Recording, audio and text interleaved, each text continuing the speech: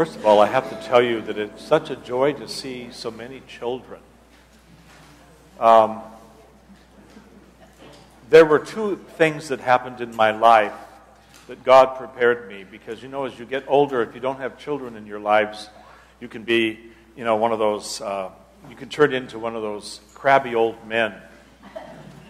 And uh, the first one was when I first became Orthodox, and I was, uh, I was a simple monk, and I went to a parish in Santa Rosa, California, Holy Protection, OCA parish. And uh, there was this, there were a lot of little kids.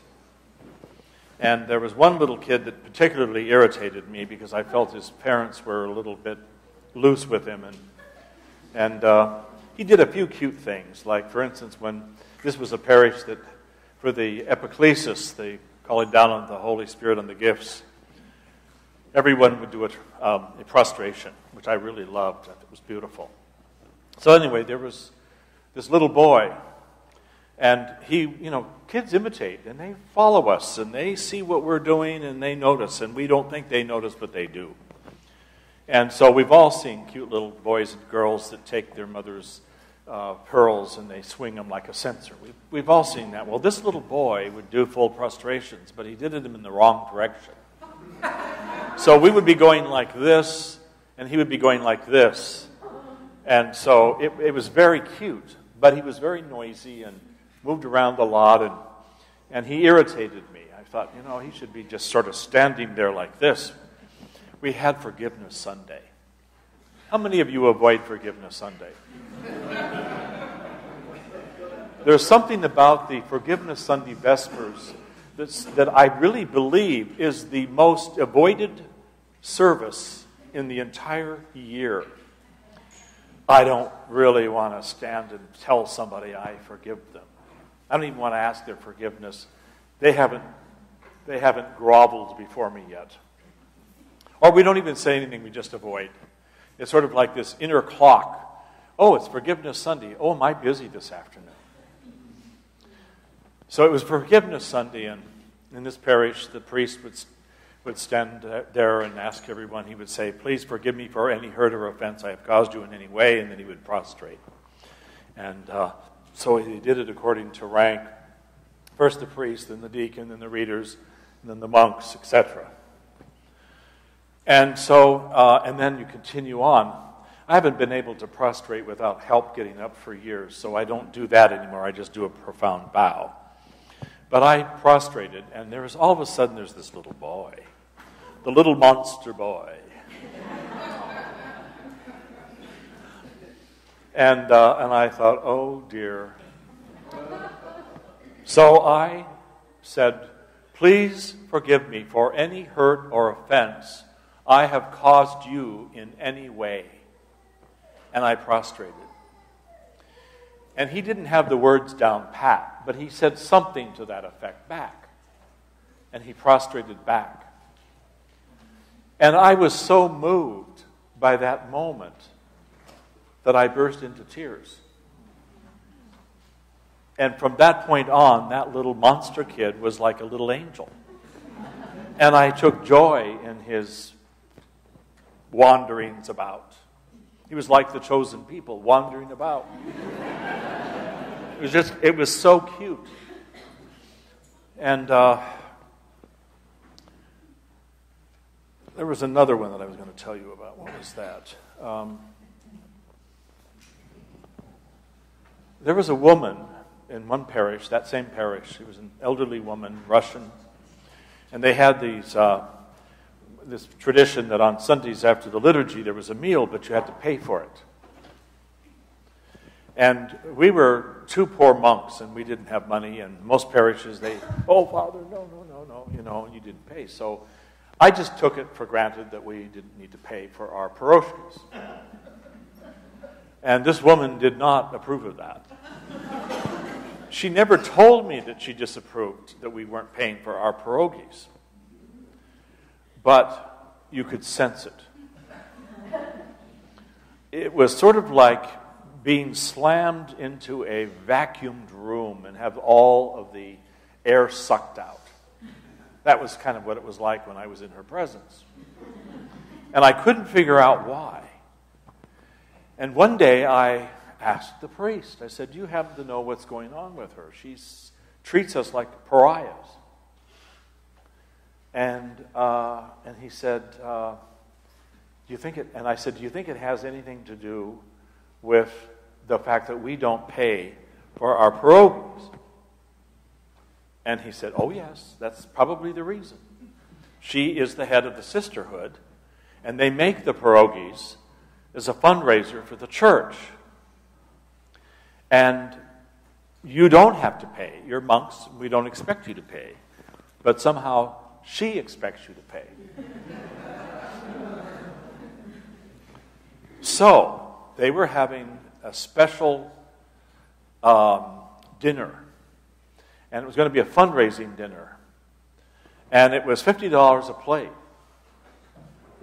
And I talked to Father Paul, and I said, you know, we weren't going to go. I mean, it, was, it would be sort of unmonastic to go to a $50 a, a plate dinner. So we really avoided things like that. Then, I do it now. With relish. But then I didn't. I was more pious then. And so... Uh, so I said, you know, we need to give her $100 and, we, and just tell her that, gee, we know you're doing a fundraiser, but we can't be there, but here's $100 uh, as our donation. So I went up to her after liturgy. We hadn't planned to stay for the free pierogi. I went up to her and I said, Oh, we have to leave, but I, I just wanted to give you this $100 Father Paul and I won't be able to be at your fundraising banquet, but we want, but we really love what you're doing. Uh, you and the sisterhood is, is a great thing. So we want to give you this money as our contribution, however meager it might be. And it was, it was like I had given her 12 gold coins. It was like the whole, her demeanor completely changed. We still had our free pierogies on Sundays, but she gave them to us with a smile. And you know, sometimes when we have kinds of differences of opinion or misunderstandings with people, we want to assume what's going on, but we don't really know for sure. And so the best response is to do is kindness, love, mercy, and forgiveness we're not asked to, to, we're not told that we should wait until they've asked our forgiveness. We're not, as, as a monk, it was not her responsibility to be kind to me, but it was my responsibility to be kind to her. And that's the difficult part of being a Christian. Because you've got to go out of your way sometimes and go into your uncomfortable zone and do what you know God is calling you to do. And every one of us is, is giving ample opportunities. And if we're paying attention, they come on an almost daily basis. You know, some people think that living in a monastic community is a sort of a idyllic place to live. But one of the things that is there's, there's two ways in orthodoxy that we have that lead to salvation that are salvific. One of them is in the married state, and the other one is in the monastic state. Uh, to be uh, an unmarried is more difficult because as an unmarried, you're really pretty much on your own. You make the decisions. Nobody else, you know, doesn't have to. You don't have to take other people into account necessarily. But in the monastic life. The monk is obedient, or the nun is obedient to the rule of the monastery and to the abbot or abbess. The abbot is obedient to the rule and to his brothers. I don't make any major decision uh, affecting the monastery without consulting the tonsured members of the community. Because that's the salvific role for me. That's what will bring me salvation. It's not about my will. One of the big differences between Roman Catholic monastic life and the Orthodox monastic life, although Vatican II brought in changes, so there's less differences now. But let's take um, the Benedictines are probably the closest to our tradition in monasticism. And I've always had close relationships with the Benedictines. Uh, the Mount Angel Abbey in Oregon, uh, they've always been very kind to me. And uh, uh in fact, the last time I was there for, I took a young seminarian from St. Petersburg, Russia, with me uh, for a prearranged time when he could have time with in their seminary uh, at, at the request of his rector, because he was going to be teaching seminary at St. Petersburg Theological Academy. So I'm a board member of the Seattle St. Petersburg Sister Churches program, and we sponsor things like that. So we made arrangements, and I arrived, and the abbot of the monastery, big monastery, met me and took me to down this large corridor uh, uh, in the monastic enclosure, and there was this huge oak door, and it said Abbot Tryphon on it. And uh, I thought, wow, this, this, I could get used to this. And he opened the door, and here's the Archbishop's suite. They were, uh, they were going to have me use the Archbishop's suite for the week that I was there. I walked in, my cell phone rang, and it was a high friend of mine. And I said, Father Mark, you'll never guess. I'm at the Abbey, and they just gave me the Archbishop's suite for a week. And when the lights went on, and there was a one wall lit up, and I opened up a cupboard, and there was a little refrigerator, and I opened up the refrigerator, and there was some uh, uh, some uh, Coca-Cola and different things in there. But there was a bottle of um, uh, um, uh, which you mix with um, tonic water. Yeah, it's tonic water. And I said, Oh my gosh, they have tonic water. If I'd known, I would have brought a, a bottle of, um, of gin with me. I could have made a gin and tonic. And he says, Father Tryphon, it's a Benedictine monastery. Look further. So I opened up another cupboard, and there was my favorite gin. and since I worked as a bartender bouncer in an Irish pub in graduate school in Berkeley, I made a gin and tonic with one hand and I had a great time with those Benedictines. But traditionally, Benedictines, the abbot, like ours, would be ruling for life. He would be elected by his community and he would rule for life. But they had something uh, that was a part of their tradition that didn't really come from St. Benedict, who's one of our saints as well, but rather it came from um, the Middle Ages so that the abbots were really ruling their monasteries more like a, a fiefdom, like the lord of a fiefdom. And so, because of that, uh, the, the, the, the Lord Abbot has a nice ring to it. The Lord Abbot, in fact, we got the thing, the Salish Sea, the Salish Brotherhood. Salish is the, is the Puget Sound, is an inner, uh, one of the largest inner seas. And, and so the Puget Sound is part of the Salish Sea, which goes all the way up into Canada. So we call ourselves the Salish Brotherhood of St. John the Wonder Worker, the Knights of the Salish Sea. and uh, one of my local Greek Orthodox priest friends, when he first moved to the area, he gave me the title, The Lord Abbot of the Salish Sea and All the Isles. I was the one that had all of the isles. So but, but, but again, going back to this salvific role of monasticism, is, is it is required of me that I put to rest my ego and my self will. And that's not easy. So if I was just a bachelor uh, and I had no one else to account to, it would be harder for me to, to achieve that. Now, one of the things, the difference is, and I want, I'm going to stand up for this one because I want you gentlemen here to really hear me.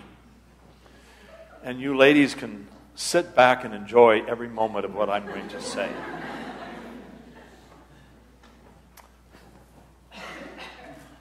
Whenever I have a couple that are journeying into orthodoxy, and they're married couple, and they they decide they want to be Orthodox.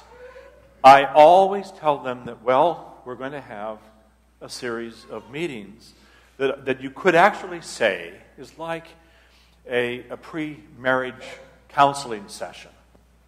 Even though you're married, you need to know that there's a difference in the way we approach marriage in the Orthodox Church. And this is the salvific difference.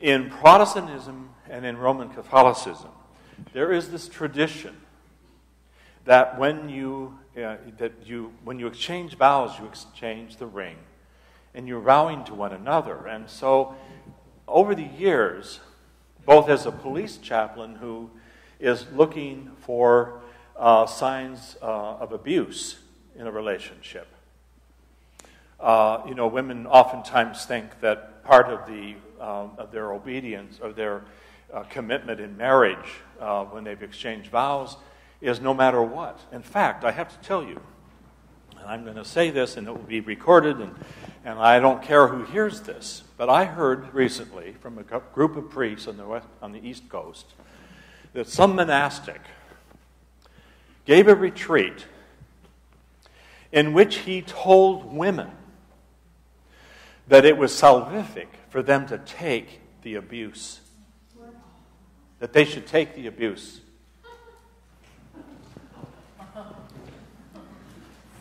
Say what? I mean, I had this image when I heard of it, this priest that was telling me about it. I, I, I, had this image. It was, it was a fantasy that formed in my mind of a bunch of women rolling up their sleeves and taking him on. That was absolute rubbish to think that. Why would a man have a right to abuse his wife?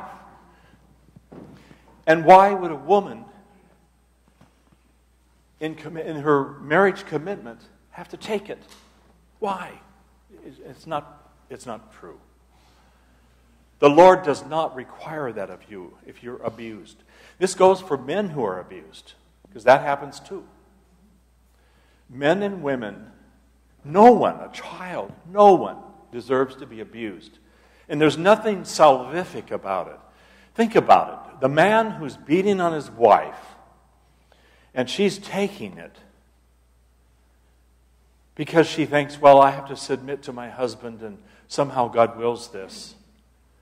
Well, what is this doing to him? He's not being repentant because no one's calling him on it.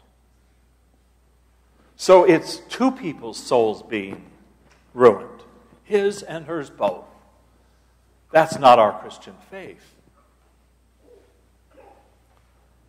What happens that is different in the Orthodox Church is we don't have the exchange of vows. What happens instead is we have the crowning, which is the sacramental moment of a marriage.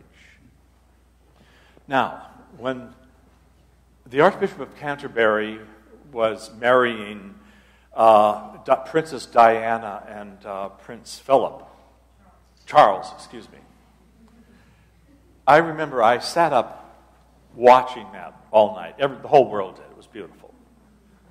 At least we romantics sat up and watched it. I cried. it was so tender.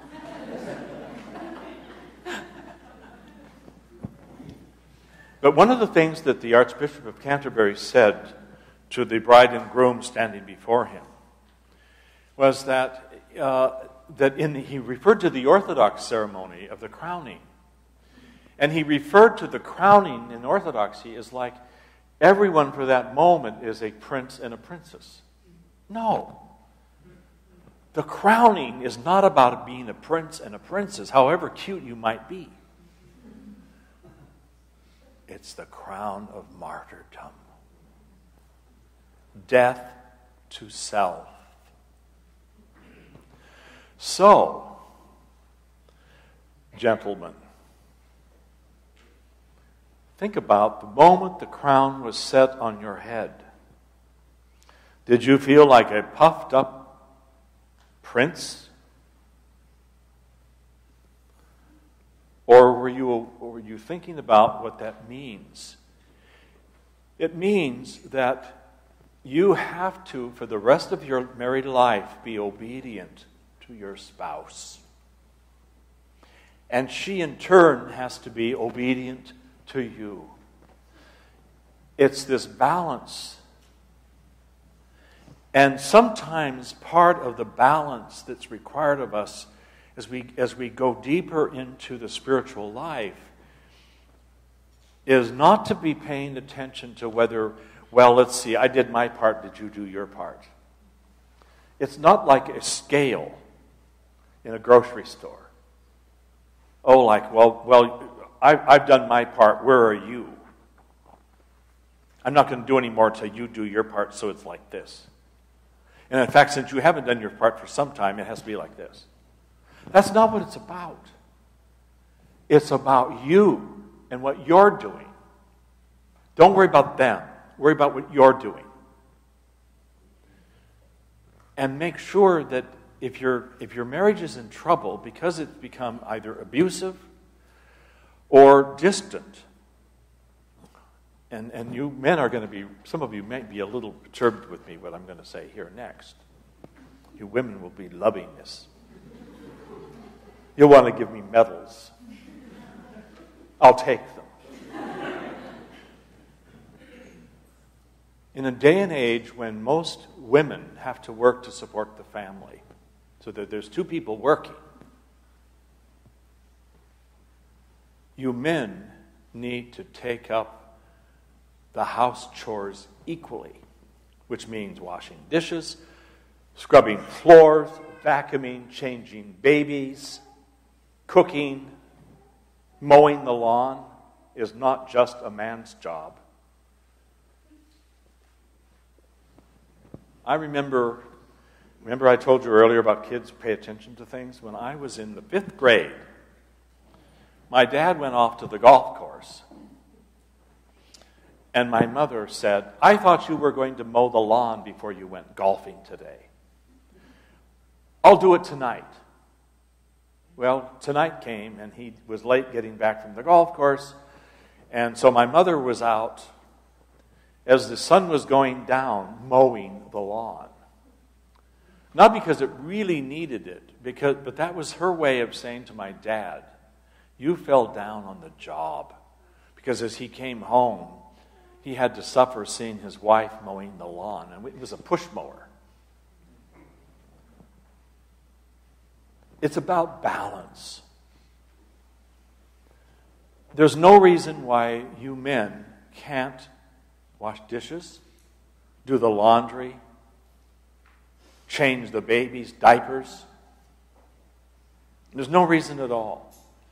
For a woman to have to come home after a full day's work and do all of those chores while the man comes home and sits back with the proverbial pipe is wrong. It's not Orthodox Christianity. Sorry, it's not. So, when, and, and, and the ones that seem to have the most trouble with this are evangelicals, serious evangelicals, which is why I always do a debriefing when they become Orthodox, because the men need it. The women are, are even need it because so many women have, have been so sucked into that image that they don't get the fact that they don't need to take this. It's not equal. Now, I, something else that I wanted to share with you um, about forgiveness. This happened to me, I don't remember, a year ago, somewhere in there. I had been, um, periodically, I'm called either to Pierce County or King County when there's a particular tragedy. Um, where they need lots of chaplains. And I had been called out uh, for a, the death of a police officer in Portland. And uh, it was um, early in the morning, or late at night, that I went out. And I, so early in the morning, uh, the ferries don't start until around 5 to go back to the island. And so I went into a coffee house in, in, uh, on Capitol Hill in, downtown, in, in Seattle. And I had my, uh, my MacBook Air opened for you PCers. And I was working, and uh, two young men came and sat at a table that was about as close as that rail is right here. And I'm sitting there, and one of them says, Only a stupid old man would believe in God.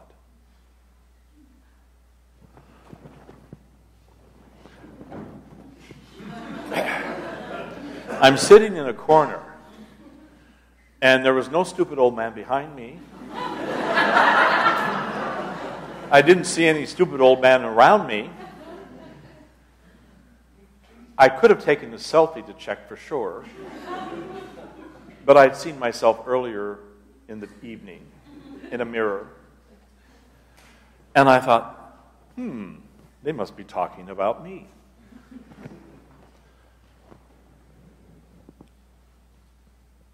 So, I could have done all kinds of things. I could have, how dare you speak to me like that?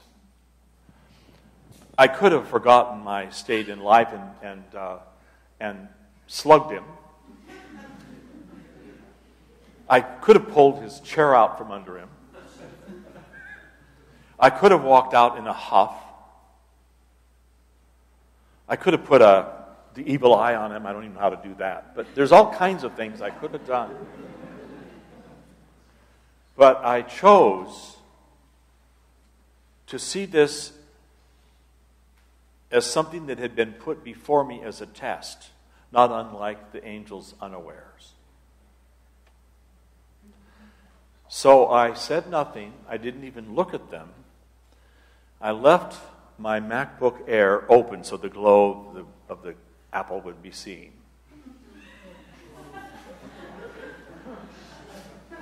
I li- listen, I live in the capital of the PC people in Seattle, so it's, I, it's my duty. so I, I went out, I went up to the barista and I said, Do you sell gift certificates? And she said, Yes. And I said, I would like to buy two gift certificates and I and they're for the young men that are sitting over there. And but don't give it to them until I've left the premises. So I went back, reverently closed my MacBook Air, and I left. About two months later, I'm back in that same cafe. It's called the, the, the ventriloquist, or the, what's the name of that old, some of you older guys? Victrola. It's called the Victrola. And uh, so I'm, i go back in the Victrola, and I'm sitting back. I, as, a, as a police chaplain, I like to have my back to the wall. You never know. do you FBI guys do that too? so, so I'm sitting there, and, uh, and I, and I'm working, and all of a sudden there's two young men standing right here. I looked up, and it was them, two months later. And one of them, the guy that had uttered the words, said, uh, We just want to know, after I said those unkind words about you, why you would give us, why you would buy us gift certificates. And I said, Because God told me so.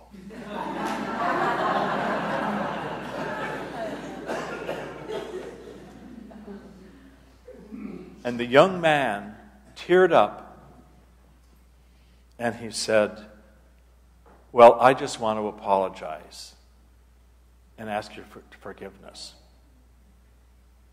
And I do what everybody knows I would do. I stood up, hugged him, and said, Of course you're forgiven. You were forgiven the moment I heard the words coming out of your mouth.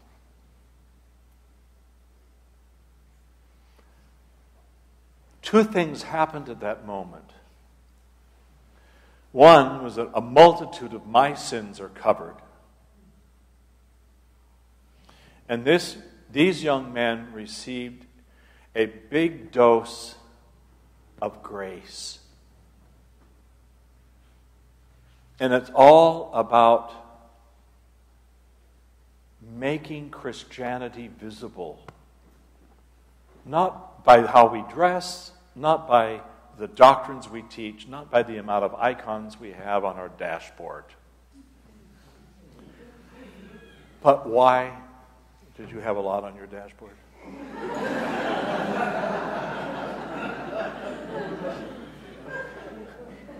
But it's, it's about being upfront about our faith, being serious. What people, not just young people, but what people generally need to see in our age of unbelief is authenticity. And the only way that we, we can't, that's, we cannot be authentic as actors. It doesn't work that way. Because if you're thinking, well, I'm going to have to contrive being authentic, it comes across as inauthentic. It has to be something that is such a part of you that you that it comes out of you as like pores. You know, it's it has to be a natural thing. And so if you as a an older person Oh, I, I was going to tell you my second thing, the big thing that was a lifesaver for me, uh, connected with a little boy in the church.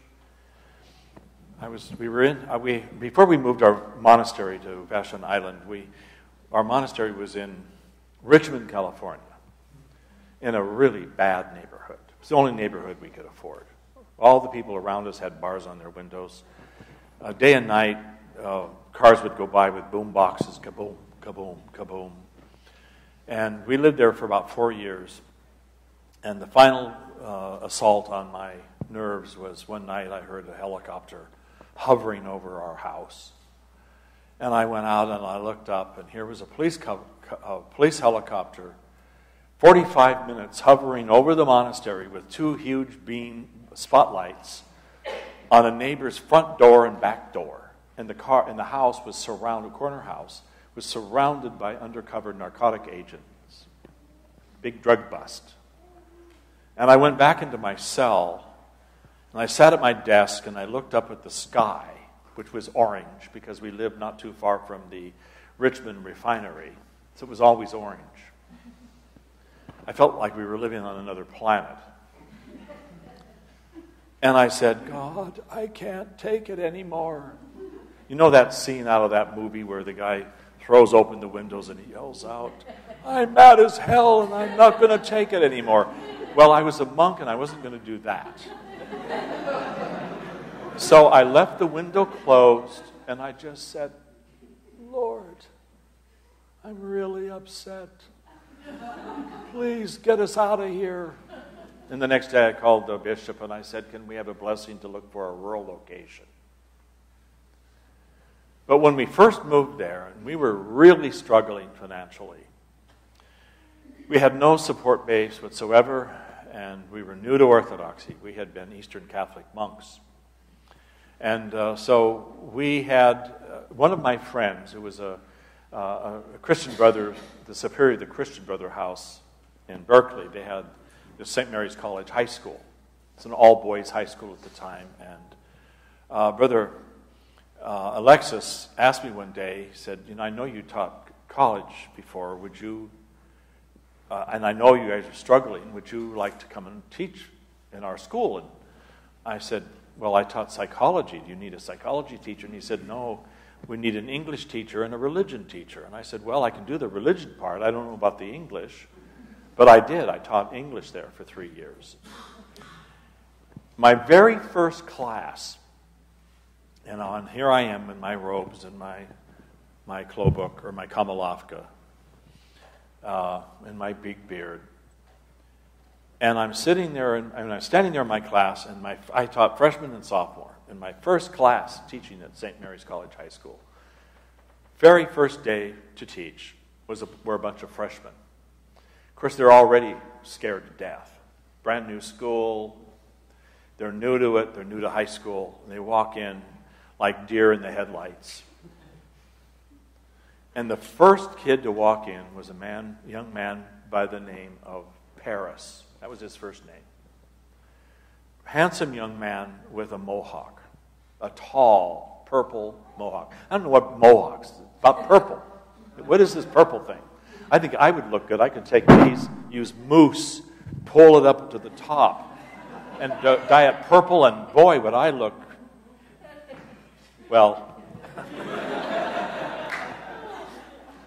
So, so this guy walks in, young black man. He was he he had a job as a um, a model, and so every time he came to the class, he had really different looking outfits that were expensive looking, and uh, he got to wear keep the clothes that he would try, or maybe he was just wearing them. I don't know what. But anyway, his name was Paris, and he comes in with his hair like this, and I'm thinking, oh, good grief. And now I'm still in that mode about being the uh, the crabby old man, and the next guy immediately that came in after him was a young man in a black leather jacket with motorcycle boots, black tight jeans, and the black leather jacket had spikes in it. There go those spikes again. And he had an Elvis Presley hairdo, a big pompadour that was greased. You could see the shine of the grease. And I'm thinking, oh no, how am I going to do this? And I kid you not, these two became my favorite students. They were the kindest. Both of them, at different times during the year, would surprise me with gifts. The, the guy with the, with the pompadour thing made me a backpack for my bike, made it by hand, my bicycle. They were nice, and they were good students. They were kind to other students. They were wonderful. There were a lot of other students that were different too, but they opened my eyes. And, and I've never been the same since then. And I, I see that period of time in my life as a God given gift that I look at young people and I don't see mohawks or spikes or tattoos. I see family. They're my family and I love them. The, the other story that I want to tell you, and this happened um, when I was young. I know it's hard to believe now that I was evidently that I was ever a long distance runner, but I was. Now I can barely go up the steps without losing my breath. But I used to live when I was in Portland. Um, one of my favorite, there were two favorite places for me to go running. One of them was the Wildwood Trail in, in Forest Park, which is this 500 acre park. It's a, it's a natural park. Uh, and you go into that park, and most of the time you can run for hours and not see anybody. It's, it's that remote and beautiful. It's like a primordial park with, with dripping water everywhere and ferns everywhere. It's just beautiful. And another place is Multnomah Falls on the Columbia Gorge. And, and it's one of the tallest falls in the, in the country. And there's a whole series of falls, if you're on the old highway, that, that are cascading down. But Multnomah Falls is the highest, and it's actually two falls. And there's a bridge that goes over, so if you're on the bridge, you're looking down at falls and up. And there's switchbacks that goes up that go up to the very top and go into another primordial forest that is pure and beautiful. And I always would go at least once a month. I'd go there to run. I'd run up to the top, uh, and then I'd run back in the forest. And, uh, and I always took a little pack on my back with a, with a hoodie and a sandwich and some water. And I would basically, this would be a day run. And so I, as a monk, I really wanted to revisit that place that had been sacred ground to me. So I was in, I was on Vashon Island, but I was in Portland to see my spiritual father, and I had some extra time. And so I thought, well, I'm going to revisit that place, so I'm going to hike up there. So uh, I borrowed a friend's little backpack and put it on the back of my cassock and uh, my shoulders, and I went started up, uh, and uh, I got up to the very top, and I started off on this trail. And it was a weekday, and there was only one other car parked down there by the lodge when I arrived. And just as I was back in about a half hour into the forest, I came across a young man sitting on a log. He didn't see me, he had his back slightly to me. And I didn't want to startle him, so I, I called out to just let him know that there's somebody here. And I said, uh, How are you doing? And he turned around and he, he looked like he had seen a ghost. And, and, and he actually looked frightened for a moment. And uh, so, in an attempt to put him at ease, I said, uh, I'm, I'm on an old, I'm on a hike to revisit areas that I used to run, and this is about the area that I would always stop and have some coffee and a sandwich. Can I share my sandwich with you? And in kind of a weak voice, he said, Yes. So I sat down with him. And he looked at me and he said, Are you an angel?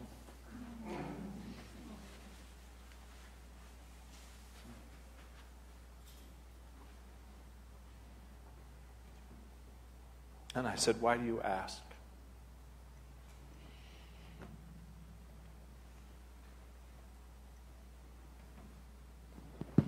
And he showed me his revolver.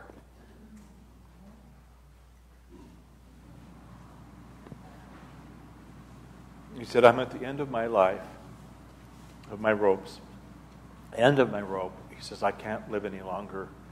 I'm too unhappy. And this is my dad's gun out of his drawer, and I have come up here to kill myself. And then I and he says, and I've been sitting here praying for a sign that God doesn't want me to do this. And then there you are.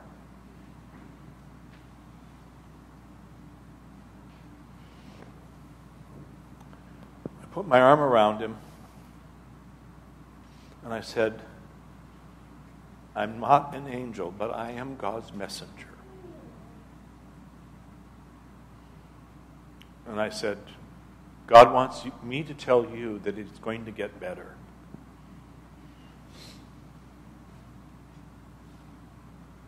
And then we shared a sandwich and some coffee. It was kind of like a hipster communion. I had one cup of coffee, so we had to pass it back and forth. And uh, so we talked for quite a while about his life, about why he turned out his girlfriend broke up with him. You know, young men never know that it's that there'll be another woman down the line that's better suited. They always think that this is it. And he was not doing well in school, was fighting with his parents. He had all these things that had stacked up against him, and he felt like there's nothing for me. Nothing. And so he said, he thought, well, I'll just go way up in this forest where no one will hear the shot, and I'll kill myself.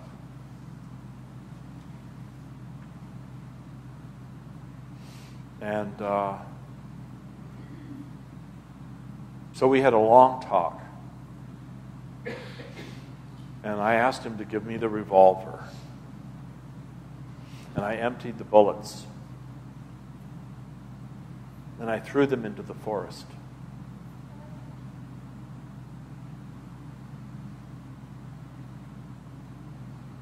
And then we walked down together. And when we got down to, the, to our cars, we were still the only two cars there. So this was a, provid, a divinely providential moment that I was called there for that. In that moment, I was an agent of the Lord. Remember, I said earlier that if you don't have an angel unaware, be one? Well, that God had called me to be an angel unaware at that moment for this young man. And so by the time we got back down to our vehicles, it, quite a few hours had passed, maybe two or three hours, and I said, I said, I'm going to pray for you. I said, when you get home, I don't want you to just slip this revolver back in your dad's drawer. I said, I want you to promise me that you're going to give it to your dad when he gets home and tell him what you had done and what you had planned and the sequence of what had happened.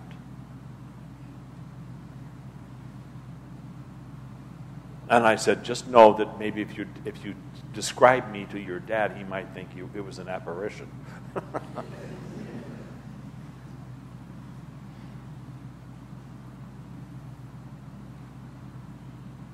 But again, this is incarnation. This is, this is what it means to be incarnational to others. The, the, the, to be God's love and mercy for others. And sometimes it might just simply mean being the one that bothers to make it your business when you hear a woman being beaten by her husband through the wall of your apartment and doing something about it and not deciding it's not your business. I was in Berkeley once, driving up uh, uh, Shattuck Avenue, and, uh, and I saw this man roughing up a woman on the corner. And I, uh, I did kind of a Starsky and Hutch thing. I drove up on the curb with my car and I leapt out. And I told the guy in my most authoritative voice, back off. And then I stood between, now this is something I would recommend, but I stupidly, maybe, but I stood between him and the woman, relying on the fact, well, in fact, I told him, I said, and he started to come at me, and I said, two things. One, I have white hair and I'm a priest. What do you think is going to happen if the people driving by see you starting to beat on a priest with white hair? And number two, as I was coming up on the curb, I dialed 911 and the police are on their way. So, do you really think it's wise to hit me? Well, you know, he backed off, and the police arrived.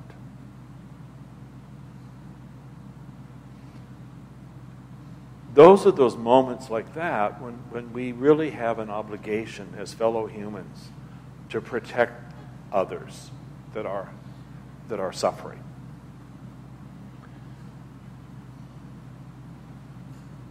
once I was on the ferry from West Seattle to Vashon Island. We had only lived on the island for two months.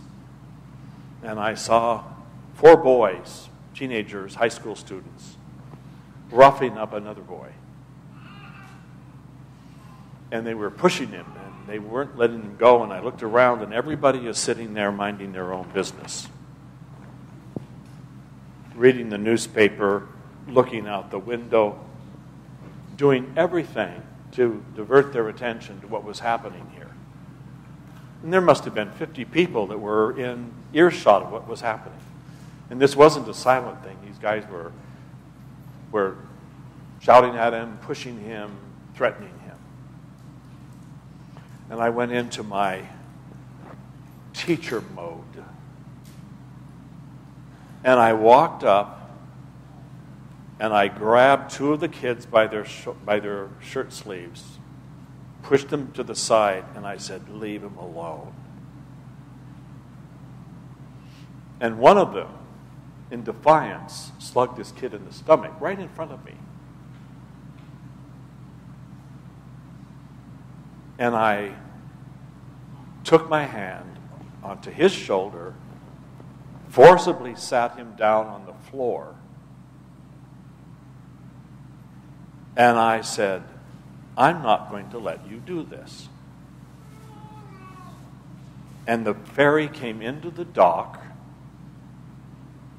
and they announced that we were at, that we are now on Vashon Island. And uh, and I said to this boy that they were attacking, I want you to leave now. And the rest of you are going to sit with me.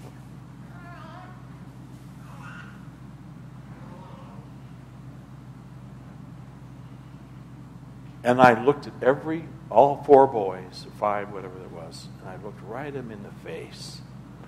And I said, I want you to know that I'm remembering your face.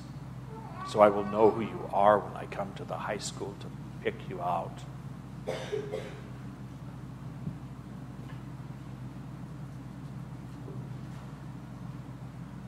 And the next day, I showed up at the high school and I told the principal and I described the boys.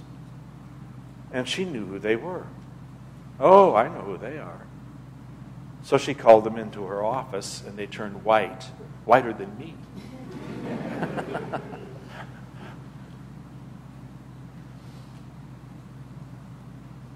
now, I didn't have to do that.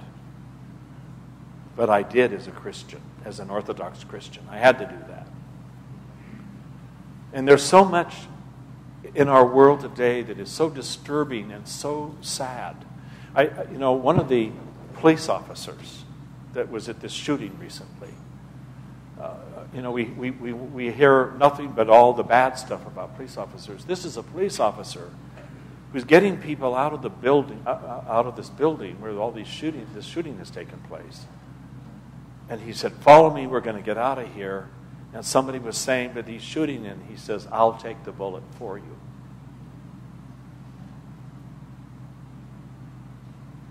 I don't know about you, but as an Orthodox Christian, I would rather take the bullet for somebody than live with myself for letting them be taken out. You don't have to be a police officer to do that. And most police officers would do that. I wrote a blog article once, maybe some of you have read it, where I, I, I, suggested certain things that we could do to deepen our faith. And one of them was the next time you're pulled over by a police officer for speeding, apologize and thank him for stopping you and for helping you make your life safer by calling you on your stupid driving.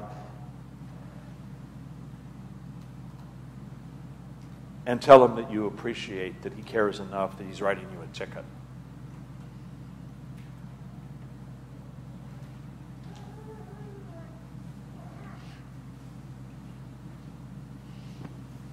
I got pulled over.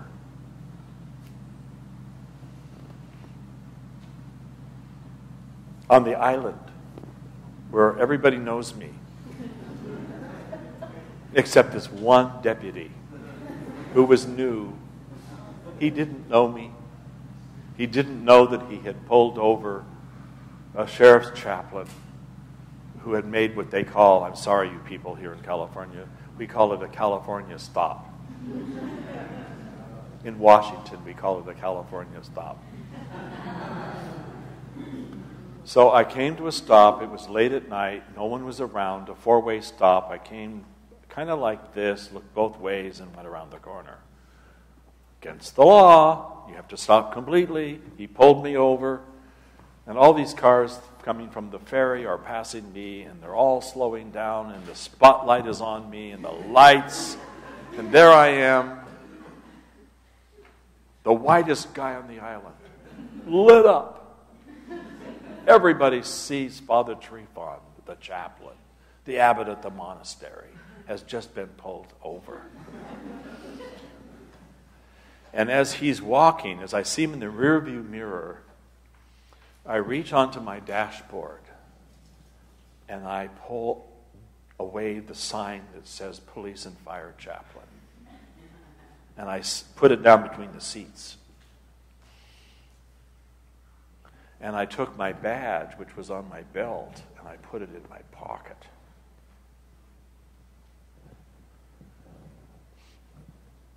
Because I didn't, because I knew that I didn't want him to think that their chaplain wanted special favors. So I didn't want him to know I was their chaplain.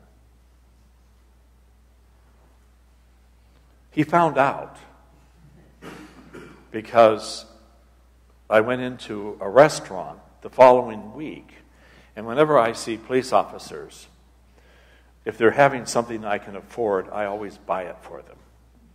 Because I get 20, $40, $400 a month Social Security. So I would be sort of not even be, be able to afford to be a street person if I didn't live in the monastery, because I didn't put much into the Social Security system. But that Social Security money is the abbot's discretionary fund, which is where the money comes that I give away. And when I see, you know, like an old lady living, eating breakfast alone, or police officers eating, I will pay for it. So I was in there, and there was a bunch of police officers sitting over there, and and I, when the waitress came over to give me my bill for my coffee, I said, Would you add their coffee, whatever they're having, onto my bill? And uh, Kurt, who's one of the deputies, he's been there for 33 years, uh, he sees me and he knows what I do, and he called out, Father Tryphon, why don't you let me buy you your coffee today? And uh, he says, there's he says, and then he says to the others, he says, our chaplain is always buying us coffee. And one of the guys was the guy that had almost given me a ticket. He didn't. I think he took pity on me because he figured, like, oh my God, this poor old guy. So he didn't give me a ticket. But I remember as I was driving off, I thanked him for stopping me and caring enough that he was doing his job. I'd like to get some kind of interaction going uh, about what you think about some of the things that I've said. And if there are, are ideas that you've had or questions that you've had. First of all, I want to tell you that, that there are a number of, uh, of police officers in this room. Some of you probably already know that. But uh, I, I just want you guys to know that you have my love and admiration and my prayers. Uh, it's, a, it's a great job you do. And, you know, I heard, I read an article recently, somebody ranting about how our police departments are militarizing and they're wearing, you know, military fatigues and have machine guns and, and, uh, uh, and these, uh, these vehicles that look like they're in a war zone. And my first thought was, well, join the 21st century. We are in a war zone.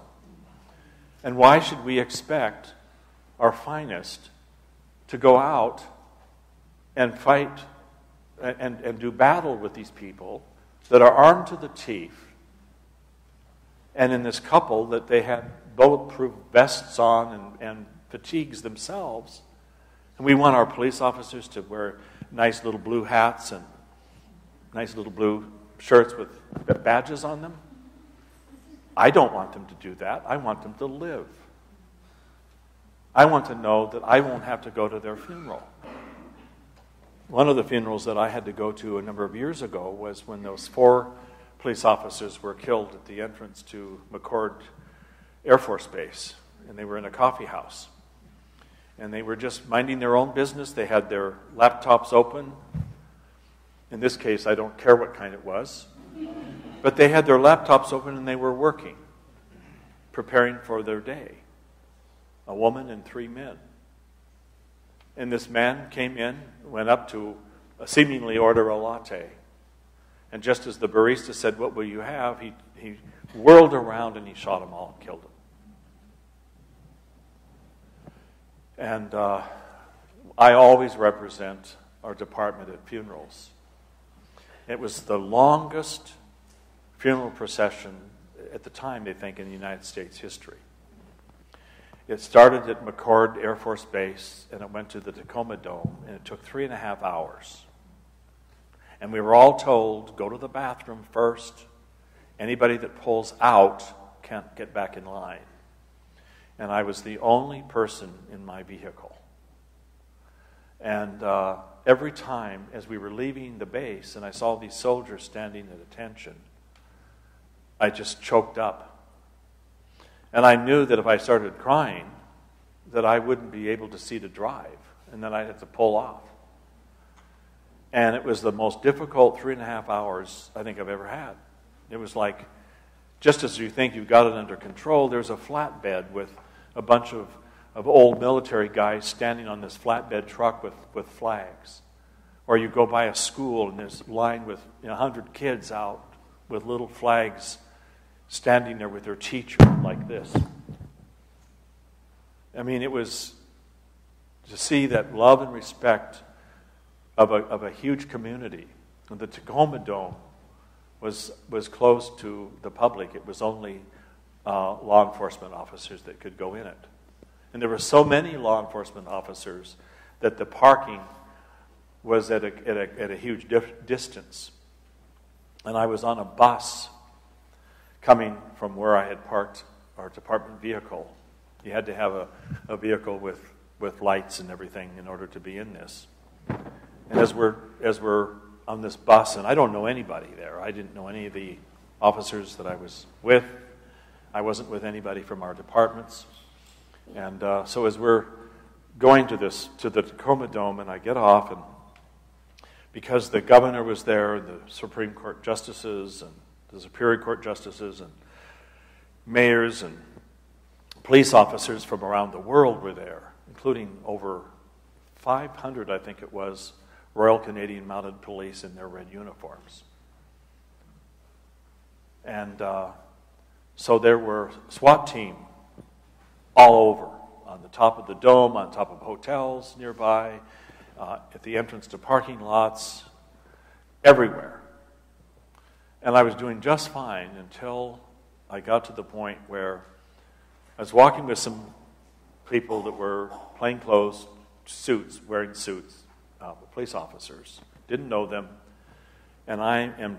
I've got a uh, a uh, Bluetooth. I'm talking to the head chaplain, um, who's kind of give, giving me a kind of debriefing me as I'm walking because I am by then spent. And uh, so I was just needing some support from another chaplain. And as I'm walking, um, I see this, this young SWAT team guy, and a lot of the SWAT team guys are uh, just out of the military, military police, and, and so they, uh, they tend to be the ones that are ready for doing that, and they know what to do. And so this guy's standing there, and he, he sees me, and kind of does this military about face, looks right at me, and not very happy. And I thought, you know, uh, any moment he's going to notice I have a badge. I have. I was wearing my cassock, but I had a vest with a badge on it. On the back it says chaplain. I thought, well, he's going to see this any minute. So he didn't. All he saw was this bearded man with his head covered, wired disconnected with this environment. He calls it in. So it goes into security in the dome. So by the time I get around and I walk into the Tacoma Dome and I see a, a sea, a sea of blue, of, of red, uh, of the red coats of the Royal Canadian Mounted Police, and since I grew up in northern Idaho near the border, I really have an affinity for them, and I have some friends that are with the, with the Royal Canadians. So I Went all the way around and went over there to thank them for being there. Little did I know that a takedown team had been prepared. and you officers know what that means. You can be one of you young guys, and you're going to be medevaced after something like that. And I was supposed to meet up with my friend Sheriff Pastor, who was uh, uh, with from these guys. Two of these guys were in his department before they went to this small uh, town, and uh, so I was going to meet up with him and and uh, and with a Superior Court justice who's a parishioner.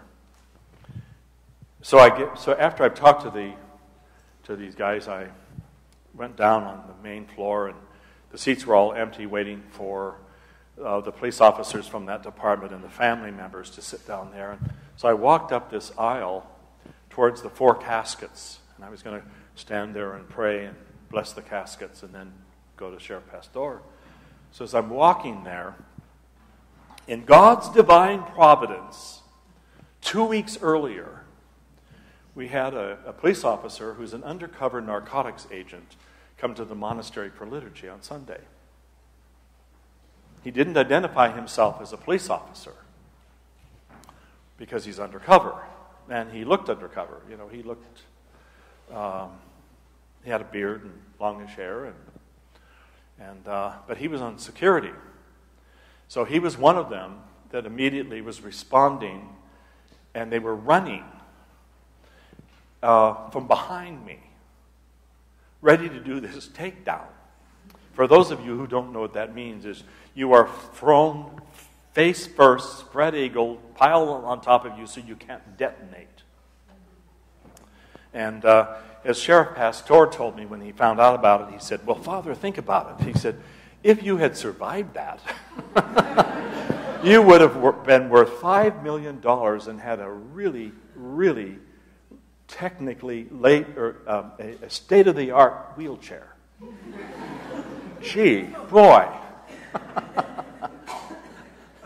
and this guy that was the uh, that worked uh, in undercover narcotics, as they were running for me, he was further back than the others, but he spotted me, and he knew who I was, and he called to the others. He said, "Stop! He's a sheriff's chaplain. He's one of ours." And I didn't know anything about this until a month later when I when I heard about it.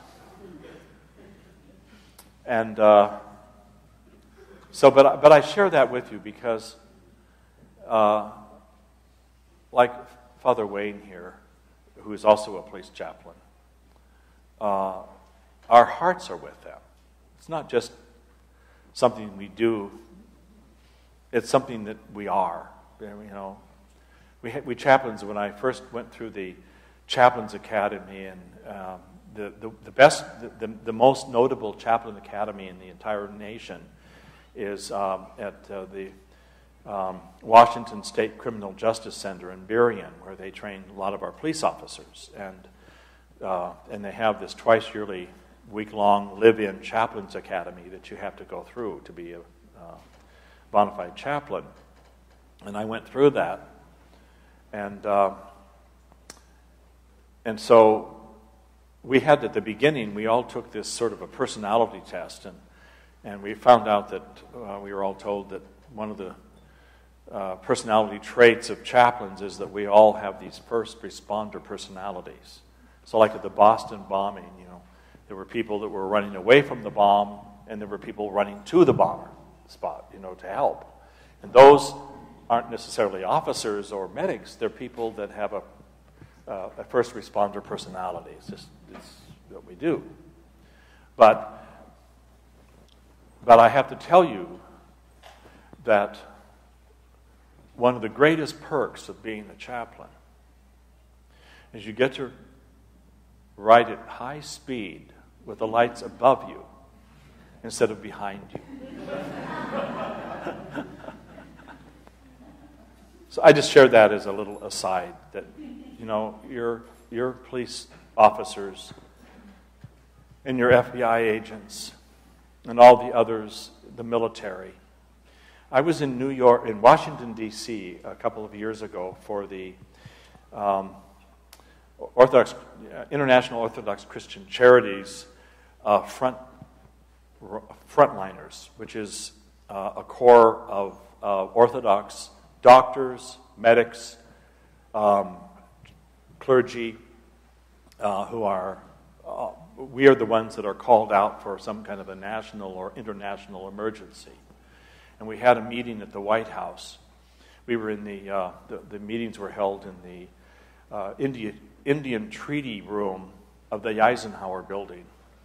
And I finally realized why we got away with breaking all the treaties with the natives is that the acoustics in that room were horrendous. but while I was there, um, is when the Boston bombing happened. We heard about it while we were there. And, uh, but there are there are innumerable numbers of our people, Orthodox people, that give themselves over to this kind of ministry in preparation for whatever might be coming down. And, um, and it's a um, and it's a calling. And I, and I share that with you because I'm sure that many of you here uh, would, be, would do well to be in, involve yourself in that calling, especially if you have medical training and, uh, or just simply want to be of service to the community, the greater community. There's so many ways, again, incarnational, that we can be there. You know, that a, uh, a chaplain is very much like the, um, the image that we have of the monks that came from Valaam to Alaska. I was, uh, uh, I was in Seattle once and I I, I met this man. His name was uh, uh, Justin. Justin uh, Powell. Justin Powell. He was a native of, of the Tulalip tribe, and he was their spiritual leader. He's a Presbyterian, but uh, but he had uh, but in in their own native religion, he also had sort of a, a dual shaman view uh, uh, with his community. And I asked him one day uh, to tell me about his native religion, and then he, he, he started told me a little bit about the shamanist beliefs.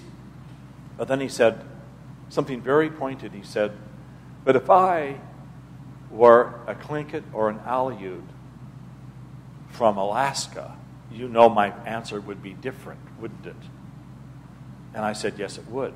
And, and he said that because the way, the way they were evangelized was that they were, they were honored and respected.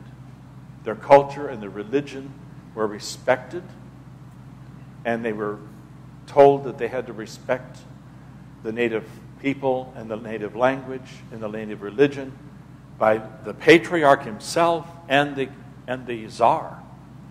And they were told that, um, that when they went in there, that they were serving the spiritual needs of the Russian fur traders, but that as a missionary, monks, their missionary efforts with the natives was one of loving them and honoring them. And so they didn't go in and knock down the, the totem poles like the the, like the uh, Protestant missionaries did after the sale of, of Alaska, because they bothered to find out that these were teaching tools of their history. They didn't prevent them to doing, of their, doing their native dances. They didn't, do, they didn't force them to speak English. They didn't force them to dress like, like uh, uh, people of, of Western society. They honored them. And he said, because of that, if you ask a native in a Orthodox village, what is your native religion? They will always say Orthodox. Because their orthodoxy they see as having is the fulfillment of their native religion. Not a replacement of some paganism, but the fulfillment of their native religion. And that is showing love and respect to, to communities that we want to share with. Anyway, so who has some thoughts or observations? Okay, so if you have any questions, please raise your hand. Since we're recording, we'd like you to speak into the microphone so we can capture that as a part of the recording. So, okay.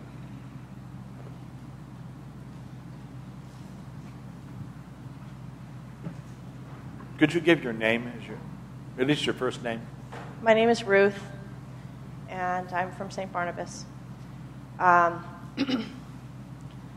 it seems to me that um, many of the stories that you've been telling us this morning, um, you're an extrovert, right? You, you um, are bold in, in meeting people. And um, for I know that God makes each of us with different gifts, and that some people are not inclined to be as bold, perhaps, but that they can still be a light um, of Christ to the world. And so I'm, and, and so I'm just wondering if you have um, thoughts about how some of us could identify with how we um, could apply this idea of incarnating Christ in ourselves um, in different ways. Um, the other thing I'm wondering about is uh, getting over fear, because um, I'm an extrovert myself, but I still find that fear is the thing that sometimes blocks me from doing good.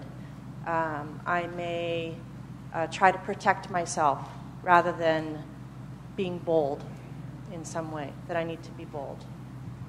How many people relate to that here? Okay.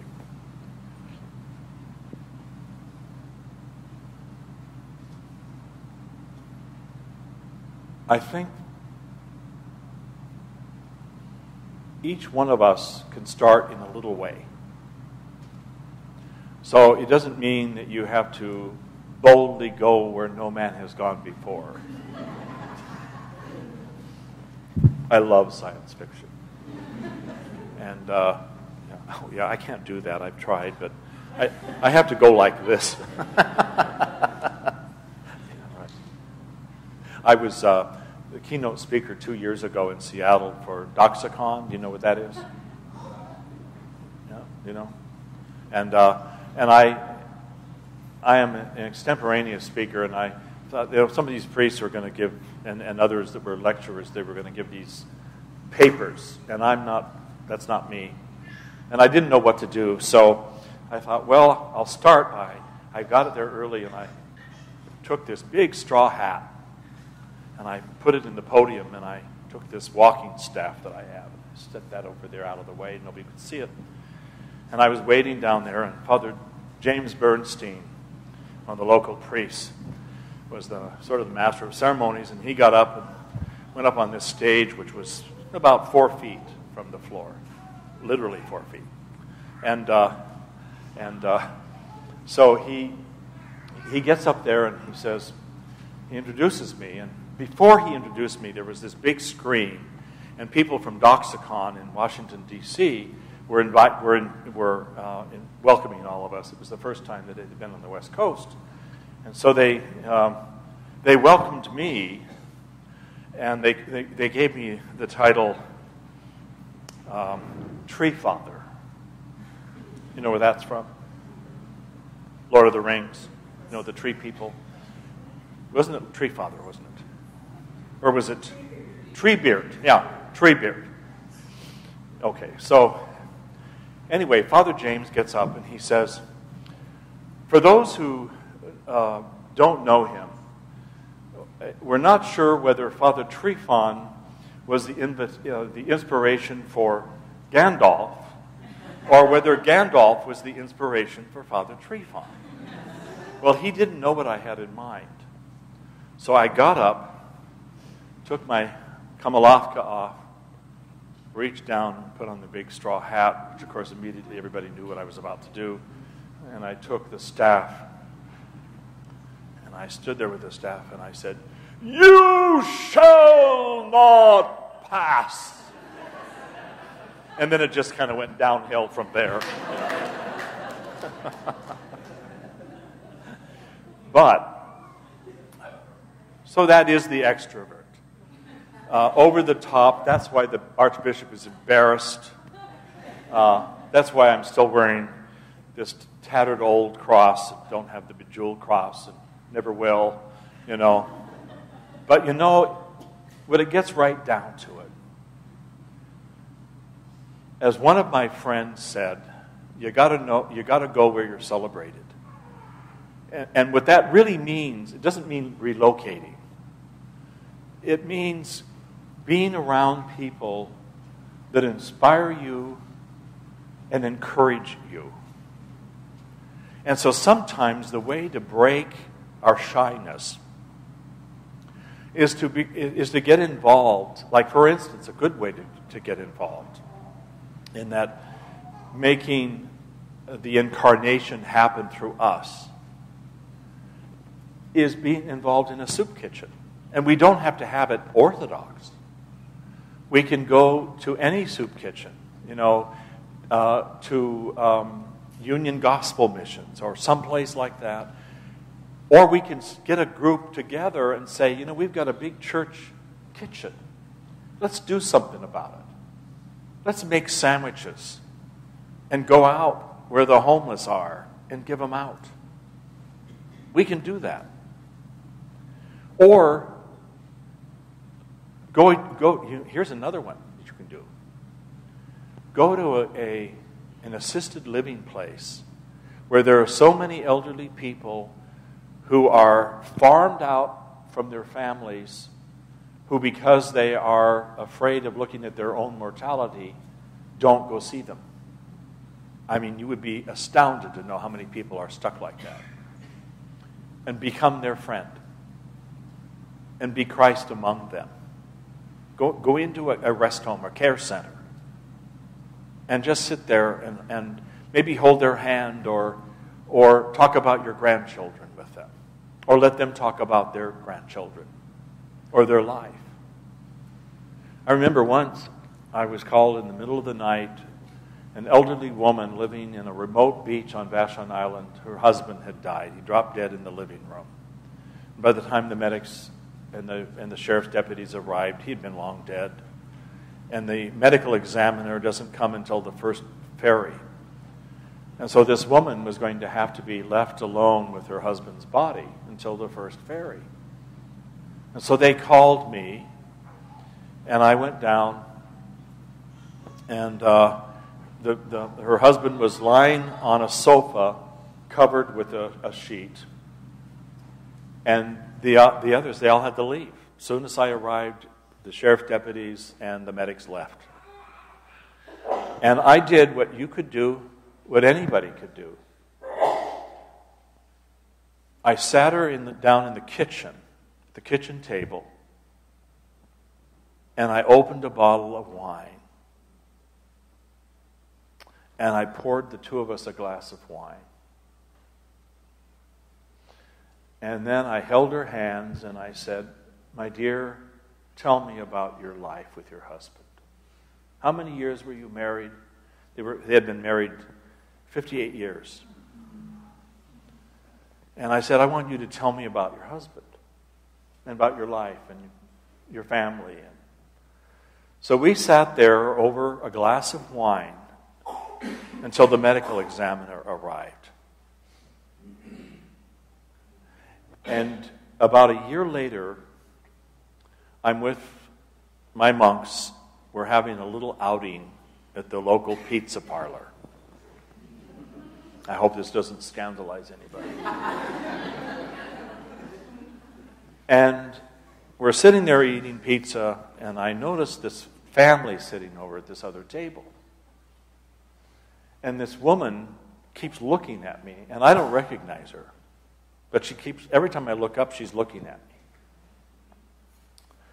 And finally, she comes over and she says, You probably don't remember me, but when my husband died, you came and sat at my kitchen table and, and poured me a glass of wine and let me talk about my husband. And I want you to know how much it helped. Now, anybody can do that.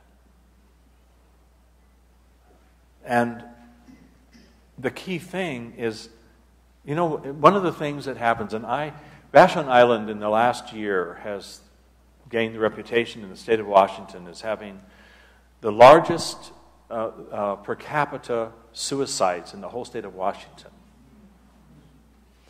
And other chaplains, when they hear I'm from Vashon Island, will, will say that. What's going on on Vashon Island? And Vashon Island is a well heeled community, well educated. A new multi million dollar arts center is coming up. We have our own opera company, we have our own chamber orchestra. We're only 11,000 people, 87% undeveloped forest. So everybody thinks we're living in an idyllic community. We have the largest concentration per capita of artists in the state of Washington. So everybody thinks everything's great. So why do we have a high suicide rate? Nobody knows. I know. I know why. Because our youth and the young adults have no, have, do not have Christ, they do not have God, they do not have religion, they're all followers of Sartre and Camus, and they don't even know it. They're nihilists. And in nihilism, there's no hope, and death is an escape. Is escape. So I have had to deal personally with more suicides of kids, of young people, in the last year than I could ever have imagined. And in most cases, I have become friends with their parents to help them through this. And a lot of people, when they lose someone in death, find themselves alone. Like old women whose husbands die, and all of a sudden they're not included in these little card games where all the couples get together because nobody knows what to say. Oh, gee, you know, she's going to feel really outside because her husband's not here and we don't know what to say. We don't want to bring up the death of her husband because we'll just stir it up again. And I'm here to tell you, you're not stirring up anything that isn't there permanently. The best thing you can do in that incarnational moment with someone who's lost a loved one is just be there and listen. You don't have to talk. There is nothing you can say that's going to, no quotes, even from Scripture, that you can read, that's going to take away the pain of them having lost their loved one.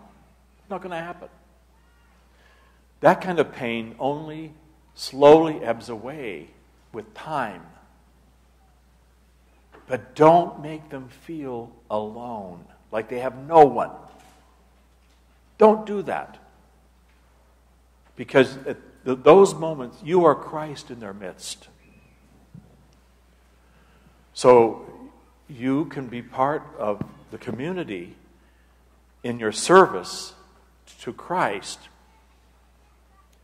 by being available to people who have lost loved ones and family members.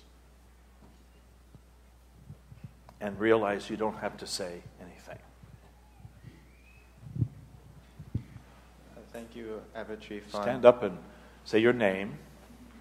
My name is Christopher Rutledge. Um, I go here to St. Barnabas. Um, when I was listening to your talk, um, it helped me think about what I've been experiencing at school.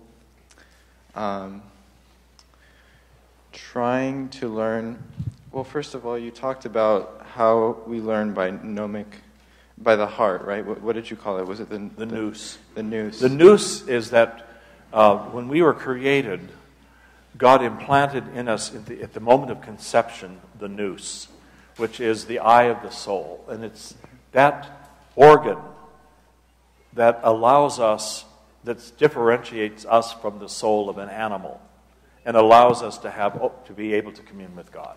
Yes. Um, and it reminded me of that because in, in my political science class, um, when we were starting out, uh, we were talking about law and its relationship to politics. And my teacher basically said, In this class, you're not going to be looking for truth. You can go upstairs to the, politi- to the um, philosophy department and do that there.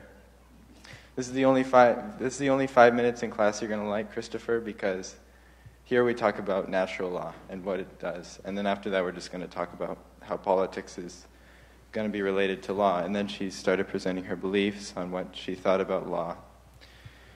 Um, and it has a lot to do with, you know, tolerating other people. That's the, you know, the view she presented. You know, everybody has a right to marry who they want to. You know, all these different things, and it, it gets kind of confusing. It confuses me, and I, I would leave upset because I felt like I could not communicate what I wanted to communicate or really think about what I what we were working on. So how how does as a college student how do you how do you find truth when it's not clear what the truth is like it's just there's so many different ideas your teachers are telling you different things you know if, it, if it's hard to access the truth, how do you find it?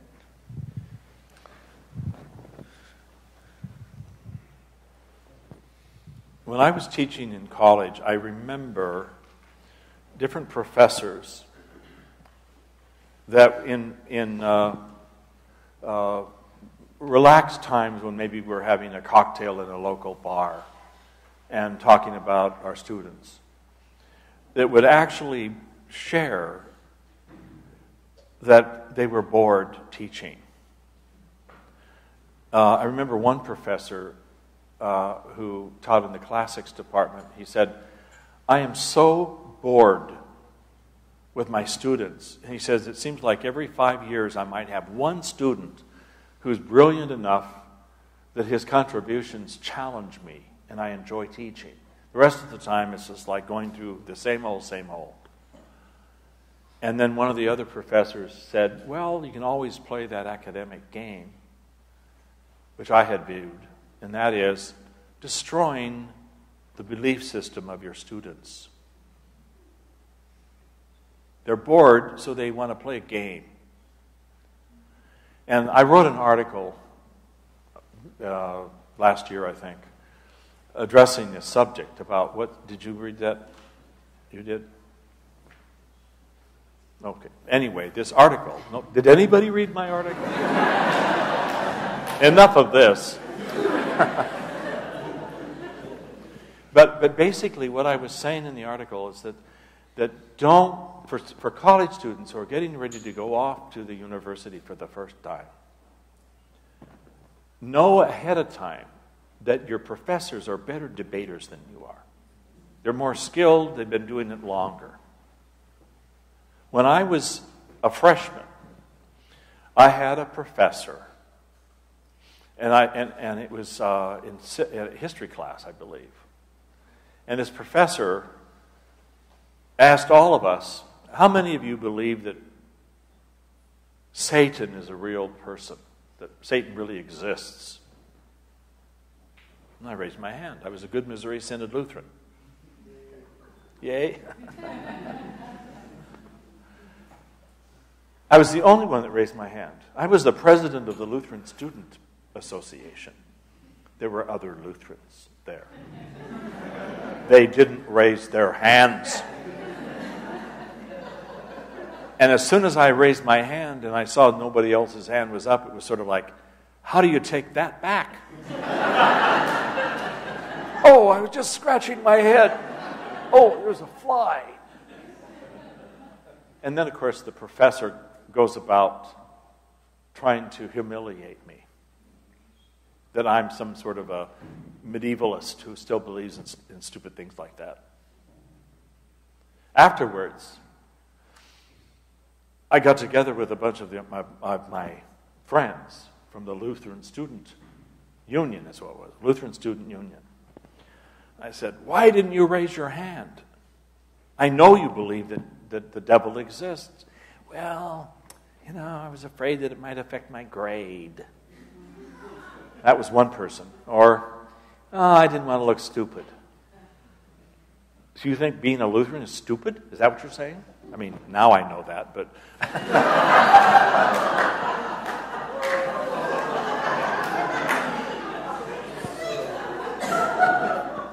Are there any Lutherans here? Oh, one. No, that see, that's what you re- you recognize that being stupid to be a Lutheran. See, so you're on. The, you're okay. so, you know, as a former debater, I can tell you that you don't have to be right to win a debate. You have to be a good debater to win a debate. And as long as you know that as a student, don't enter into situations where you're going to be forced to try to defend your stand against someone that you know is a better debater. Now, that doesn't mean that you have to keep silent about your faith. What it means is don't be intimidated by people like that. And remember what I'm saying they're bored. So they don't really want to destroy your belief system because they think they're right but because they're bored. It's a challenge in a profession that has become boring to them. Now, let me go back to this professor. Within a year, he was Lutheran.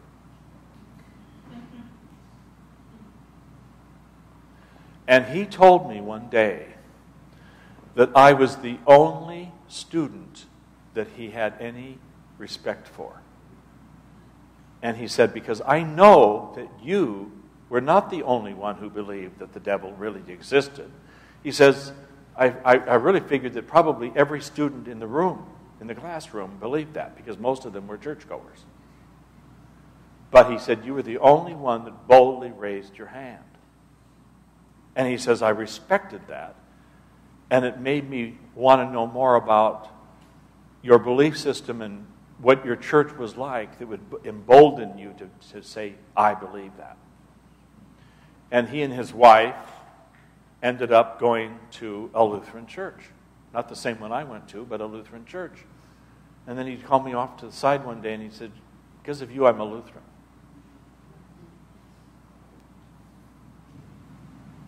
So, you know, it's it's sort of like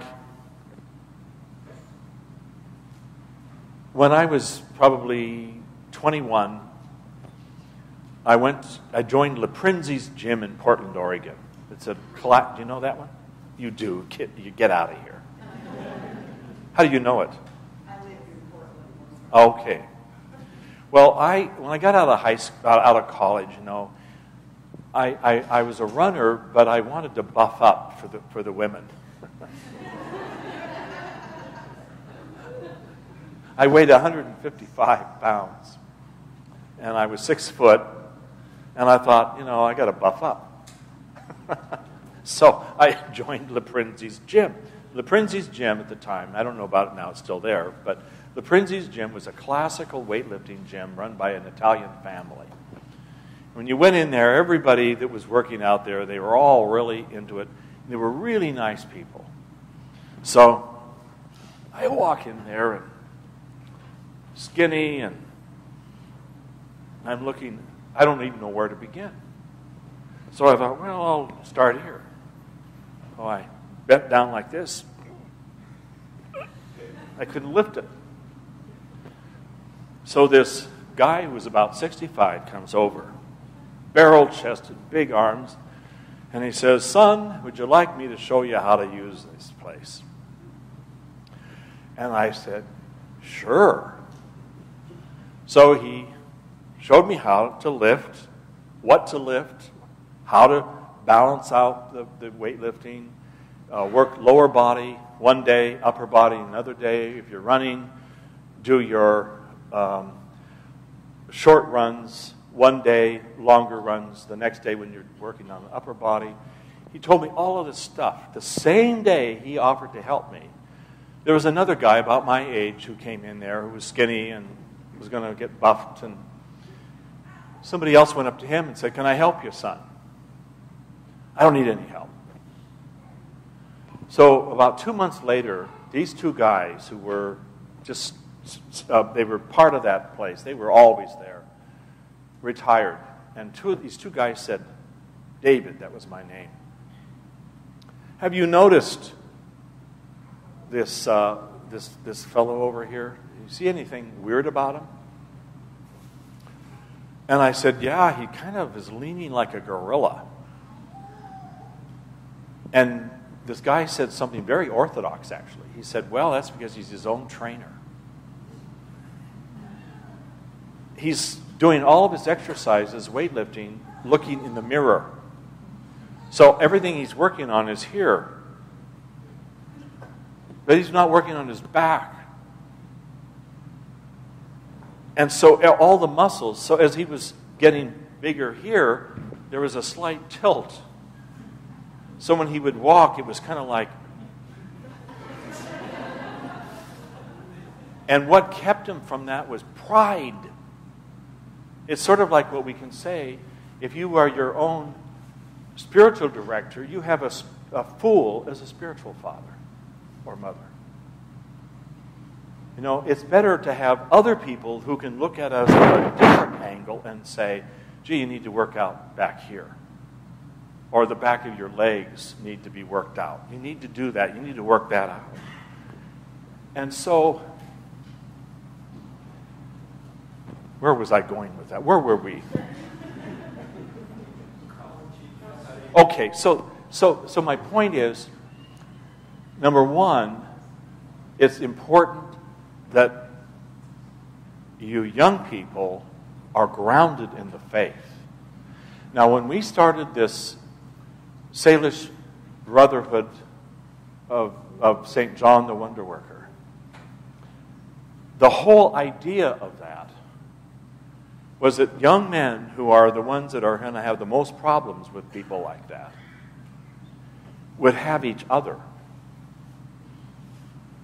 I wanted to have uh, form something that would be long after I'm dead and gone. And so what's already happened is that we have each one of these guys when they become a member of the brotherhood, they're either on Facebook together or they have each other's email address and phone numbers and so when one of the guys is struggling with an issue, maybe depression, or his girlfriend broke up with him, or all these kinds of things, he can call one of his brothers, or he can post it to everybody and say, gee, pray for me, I'm really struggling. And they do, they're praying. And then I look in amazement. I don't even have to say anything, I don't have to give any spiritual advice at all. I'm watching in amazement what these guys are doing for each other. And so when, when, when you go off to college and you've got that, you've got your, your, your mates backing you, uh, th- that's a huge empowerment. That's what the Orthodox Christian Fellowship is about. You know, most campuses have chapters of, of the Orthodox Christian Fellowship. It's for that purpose. It's not just a little social time to get together and eat ice cream. It's about being Orthodox together it's about empowerment. It's about not thinking that, well, if you're religious, somehow you're deficient. You know, I, I was so delighted to hear, for instance, that there are so many police officers in this parish. I mean, that, you know, that, that, and here's something else that we men need to remember. Only, this is proven statistically, only the Orthodox Church has an equal number of men and women in our services normally. Only our church. I went to the funeral of an Episcopal priest friend of mine on Vashon Island a few years ago.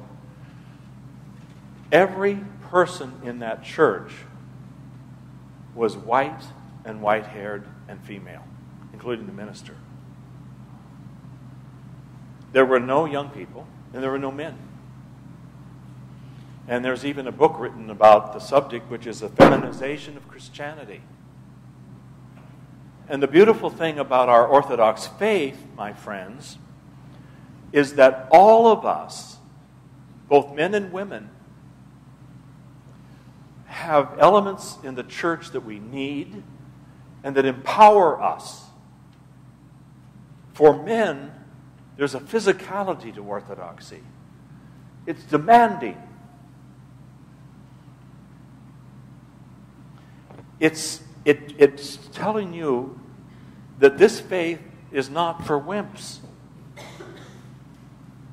It's, it's, we fast, we stand for long services, we have the domestic church in our home for our families so that the kids are seeing Orthodoxy lived not just on Sunday. We have our icon corners.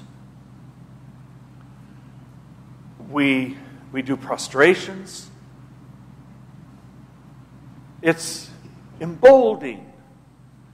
And for women, because you are naturally inclined to have a strong intuition, orthodoxy is a perfect fit because orthodoxy is a faith based on the intuitive knowledge of the heart, which is something we men need to learn.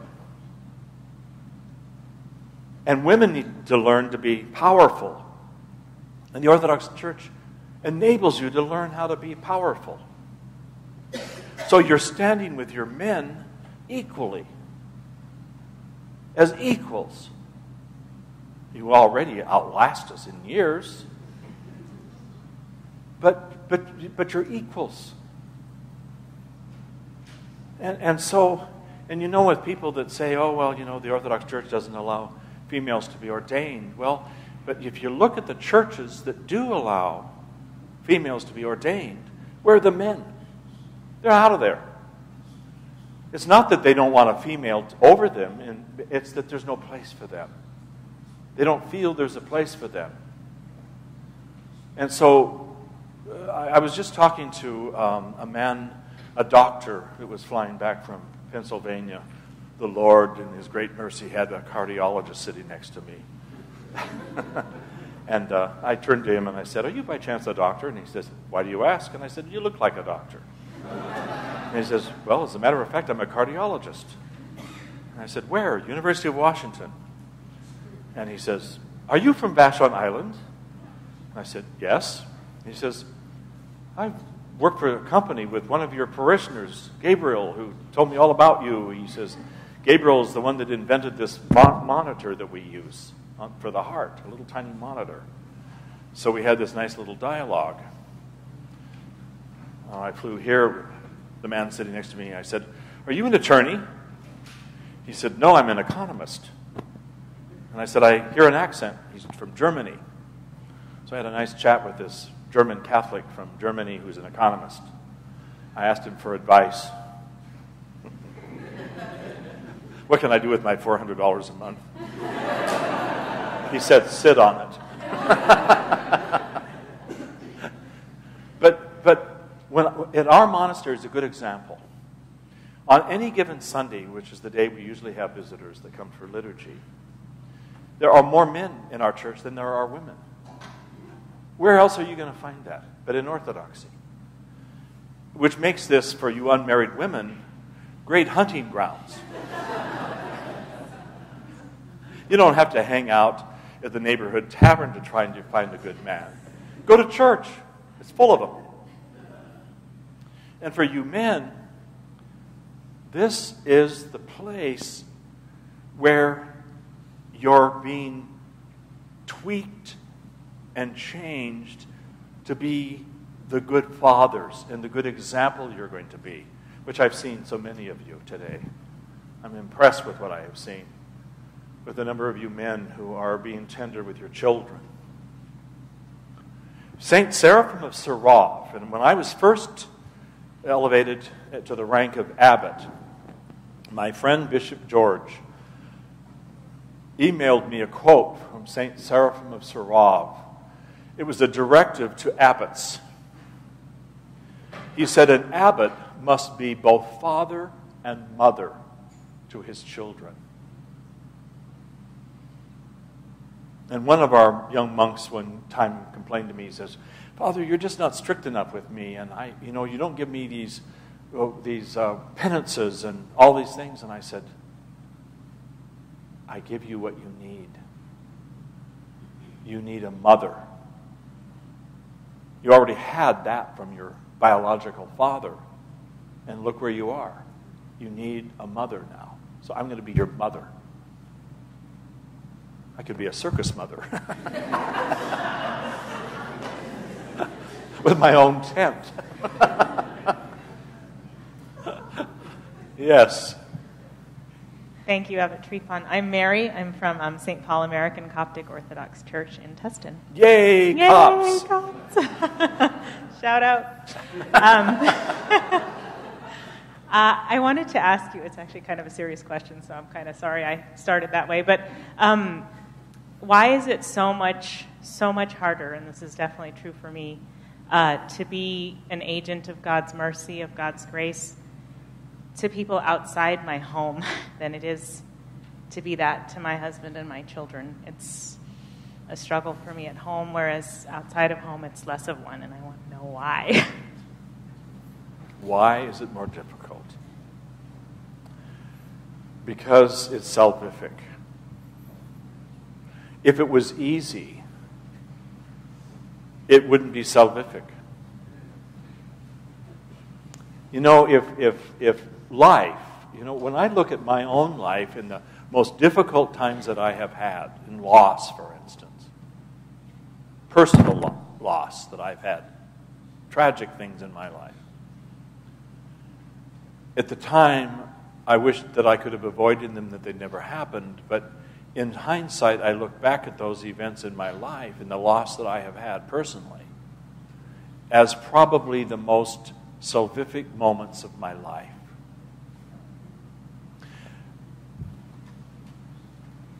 I was working with a young man who recovered from an attempted suicide on Vashon Island. He hung himself, and by total divine providence, his girlfriend, who was working, had left work early because she wasn't feeling well. And by the time she got into their home, he was black. And she had a, a difficult time untying the noose, and she gave him, she called the medics, and then she was giving him, um, trying to revive him. And when they got him to the hospital, they didn't think he was, they, they medevaced him off the island, and they didn't think he was going to live. And I got a call. I knew him because he was a guy that we hire to cut trees for us. So I knew him personally. And, uh, and so I was told that uh, he was not expected to live, and that if he did live, he wasn't going to have any brain left because he, had, he was without oxygen for too long. So I went over to Harborview and I took the myrrh of the which I always carry with me from the from the Iveron icon of Hawaii, the myrrh streamer, and I went into the room. I wore my badge because I can go beyond where most clergy have never thought of going. It emboldens me. And so there were a bunch of doctors and nurses standing around in his room, and, and I didn't stop and say, Would I, Could I come in? I have a badge. They don't have a badge. I have a badge. so I just walked right in and I went right up to his bed and I spoke his name. And I, and I said, I'm going to anoint you for healing. And I made the sign of the cross over his forehead. And then I stepped out of the room. Miraculously, he not only recovered, but he hadn't lost any functions, brain functions, at all. The doctors were amazed. So, you know, it's believe. You know, periodically we hear people say, oh, you know, I, Father, I don't really know whether I believe any of this stuff. There's one guy told me once, he says, Father, I, I don't know. Is there anything to this Orthodox stuff? Is there anything to it? I'm not sure I believe anymore. And I said, Peter, if you'd put half as much energy into your faith as you do into your entertainment, you'd be a strong believer. It takes work, like anything good, like, like lifting weights. You don't just go join a gym and know, now I'm, I'm, I'm going to be buff. I joined a gym. Well, big deal. You joined a gym. Do you know that gym, the, these gyms make a huge amount of money by people who pay big money to join the gym and never go? They maybe go twice, and then they don't go anymore, and they've already paid. We need to work on our faith. And we need to make our faith the most important thing of our week.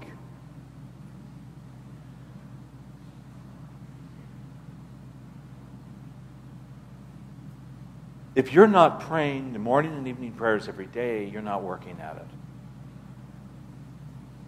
If the only time you get religion is on Sunday, you don't have it. Clear as easy, simple as that. If you're sitting there about to eat a hamburger with friends at, on your lunch hour, and you don't make the sign of the cross, you don't have to make a big, you don't have to stand up in the name of the Father, and the Son, and of the Holy Spirit. You don't need to do that. In fact, it's better you not. But you got your hamburger there, and you're an Orthodox Christian, and you just quickly, for just a moment, you, you lower your head and you just make the sign of the cross. No big thing. But you've made the sign of the cross. And I can tell you that even the ones that may scoff at it or think, oh, Lord, he's religious, are deep down wanting it. This is what I tell college students. And I know it from personal experience, I see it. When I go to campuses and I, and I enlighten young people about orthodoxy, and they see Christianity for the first time, they thought they knew Christianity and they rejected it. And then they hear what we teach and they want it. And often it's because they see a student that lives it. And he's made the sign of the cross. When I was getting on the airport, getting uh, uh, about to board my airplane, the pilot comes up and, and he looks at me and he says, Are you Orthodox? And I said, Yes. So am I. Good. so when I sat down, this German economist sitting next to me, I said, You need to know something you're not only sitting next to an Orthodox priest, but the pilot is Orthodox. You're in good hands.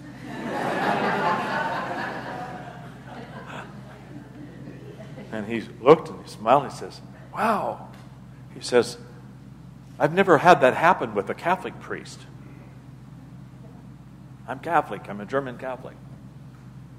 And then he said, Something about you Orthodox. He says, I've noticed in Germany that the Orthodox churches in Germany are, are, are filled with young people and young men. And our Catholic churches in Germany are devoid of young people, certainly no young men. Why is that? And then I shared a little of why that was, just as I've shared with you.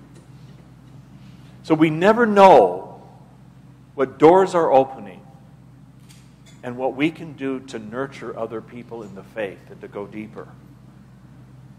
And, and I have to tell you, would, would you come up here for a moment? You, yes, I, I need a teaching tool.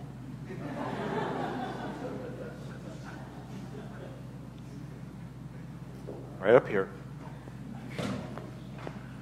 Ta da! This is orthodoxy. I mean, look two generations of orthodoxy right here. And we have a father that is obviously a loving, caring man who's been standing back there inspiring this old monk with his tender care of his son, who could be a bishop someday. if I lived long enough, he could be my bishop. And he may remember this moment. What's your name? Peter. Peter. Peter the Apostle. Thank you. Yes. Oh. Abbot Tryphon, I'm Deacon Thomas Braun. I'm a member of this parish here. And lucky uh, you. Yes, yes. Well, we're blessed to have Father Wayne as our parish priest. So, um, what advice can you give us as we interact with the gay community and we're pushed with tolerance and being politically correct, but also not wanting to hedge on speaking the truth and addressing sin as sin? Um, I was thinking Christopher uh, Rutledge asked the question as a college student, and I can only imagine when, when I was in college 30 years ago, it, it was not even an issue, and I, have got to believe it's just a huge issue on campus and huge pressure to be accepting and tolerant.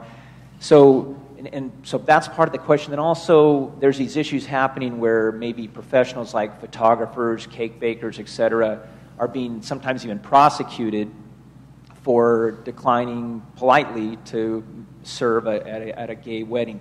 What, what advice can you give us, and how should we respond as Orthodox Christians? This is really one of the great uh, issues of our time, and it's one that, uh, that if we don't handle it properly and carefully, we are going to use, we are going to lose our younger generation. Because our younger generation, the good part of this is that they are, they are this is a generation that has had it to hear with bullying. And they want to put an end to it. And their friends, you know, it's not like gay people all of a sudden exist for the first time. Uh, when I was young, back in, my, in the 1840s, as I said earlier, every, I didn't know any gay people. There was one professor that loved roses that we kind of suspected. But he was also a boxer, so we weren't sure.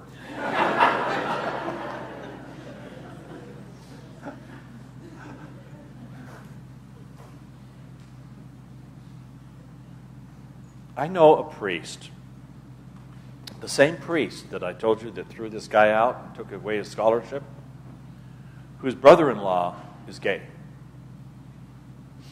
And the brother in law is forbidden to come into their home.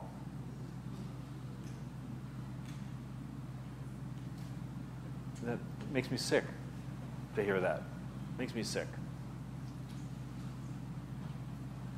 We can uphold the teachings of the church in all of its strictness and biblical basis without losing love and mercy. I have a cousin that just came to visit the monastery a couple days ago, about three days ago, from, from Spokane. Her dad, second cousin, her dad is my, my youngest uh, uh, uh, cousin. And her dad is now showing signs of the same dementia that his dad, that their dad, the grandfather and father suffered for 10 years, not knowing who he was. So Finn is very worried about his dad. And I'm the only relative that Finn feels he can talk to. Finn, when I first knew Finn,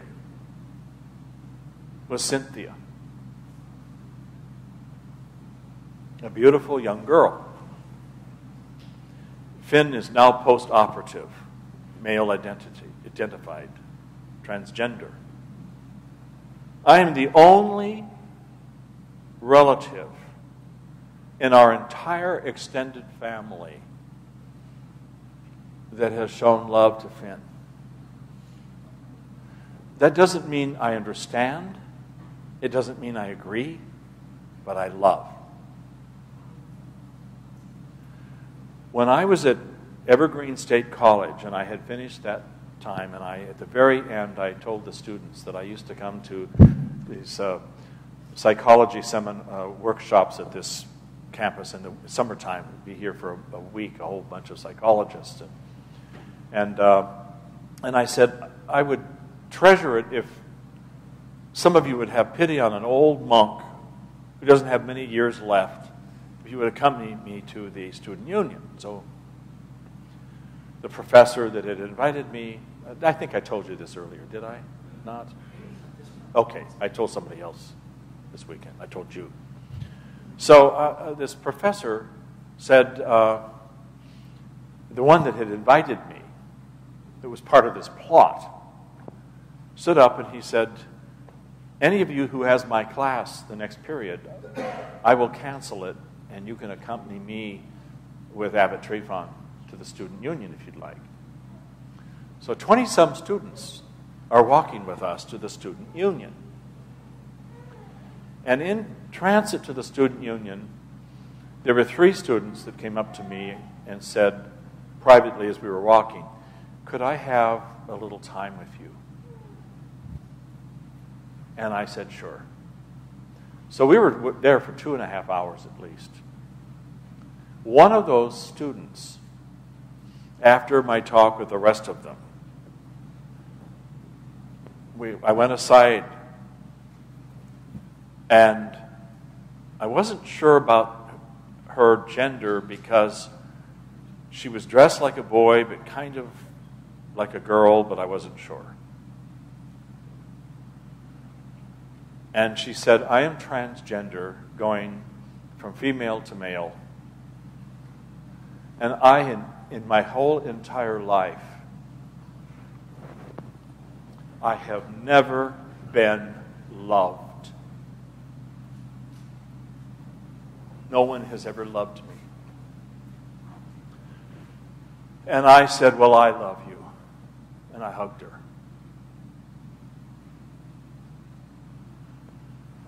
When we moved to Vashon Island some back in 88, I got a telephone call about a year later from a priest in uh, New York City.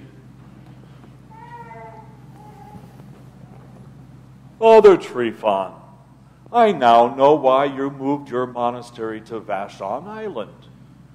I just read an article in the New York Times. Vashon Island has the largest concentration of lesbian couples in the state of Washington. Oh, I said, Father, you discovered my secret.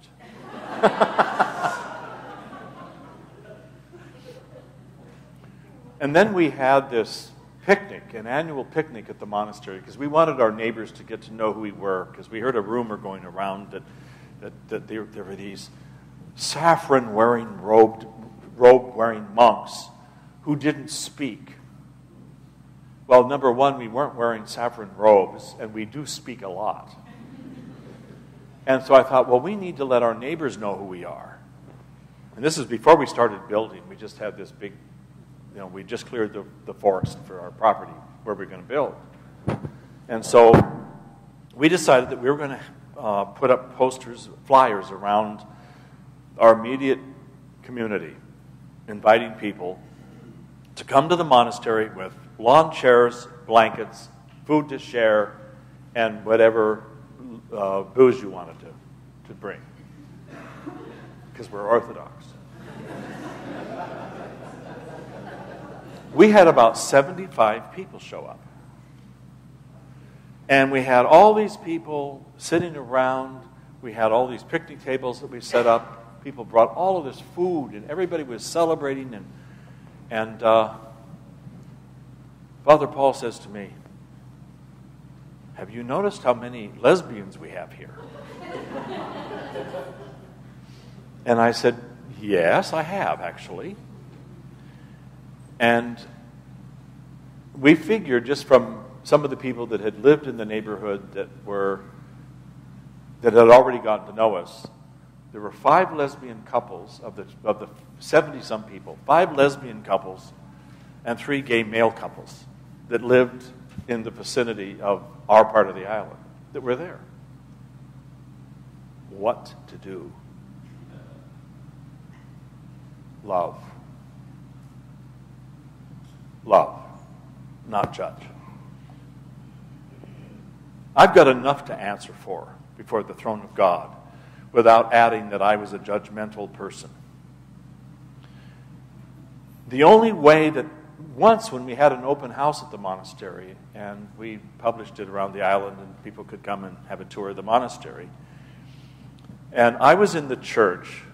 The other monks were out giving the tours and i was in the church talking about the monastery. And there was a among the people that were in the church at one point was a, were a couple of young men who were probably in their mid-20s and as they're standing there next to each other I just saw kind of a fleeting moment when their hands touched. And, and then they dropped. But, but just for that fleeting moment. And I think they thought, and it wasn't like they were doing it in my face, it was just this natural, what they do. They're, they're, they love each other, they're touching each other's hands, they're holding each other's hands for a moment, and then they, they stop. As they were leaving, one of them said, are your services open to the public? And I said, Yes, we would, be, we would love to have you. Now, they never did come. But the point being, the only time it's my business, what they do in bed, is when they show that they're interested in orthodoxy. Because as an Orthodox priest, it's my responsibility to help you in your journey to God and to go deeper into the faith and to help you in every way that I can to do that. It's not my, you know, so back to the young man, uh, you know, who's kicked off the parish council and, and banned from communion.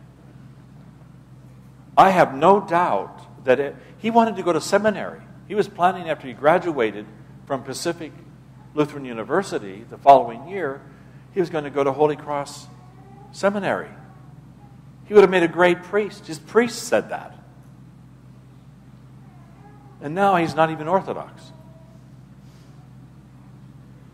So, you know, it's not about how well if he had gone, then he would have, you know, as one deacon at one of our Washington Orthodox Clergy Association meetings, when this subject came up, one of the deacons, stupidly, in my opinion, said, Well, it's like a cancer. We, not, we have to rid the parish of a cancer. What? A person is cancer?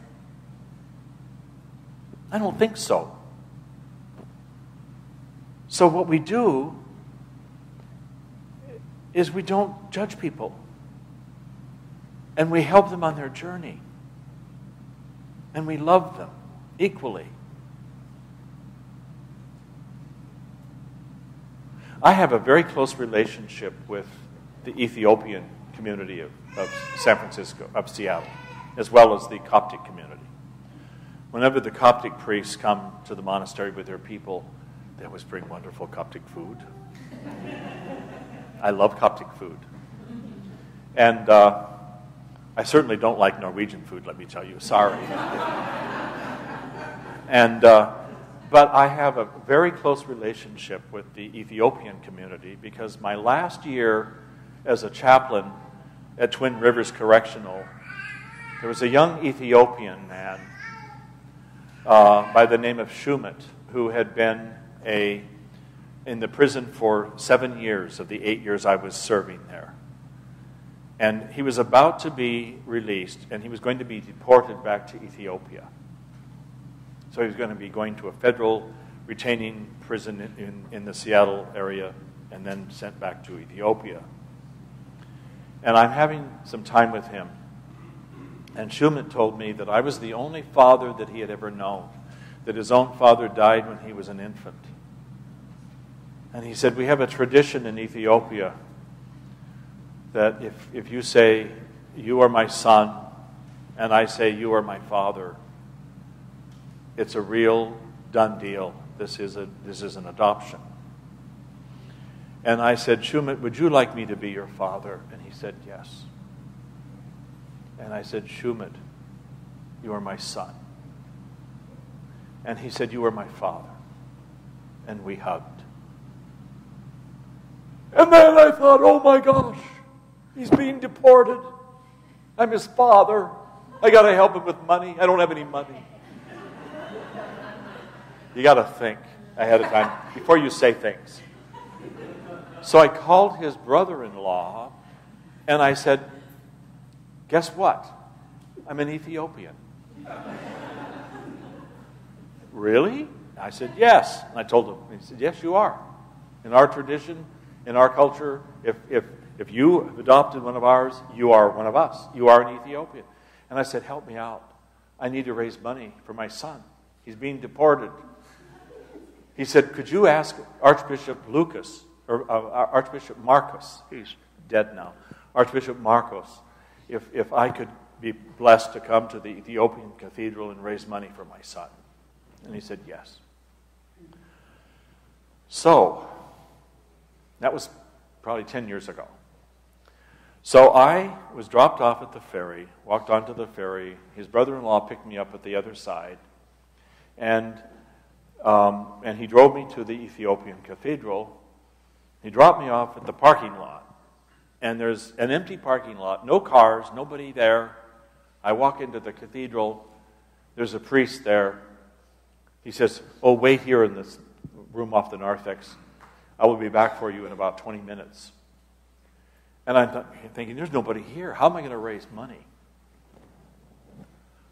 So, about 20 minutes later, the same priest, who's now Archbishop Lucas, comes back.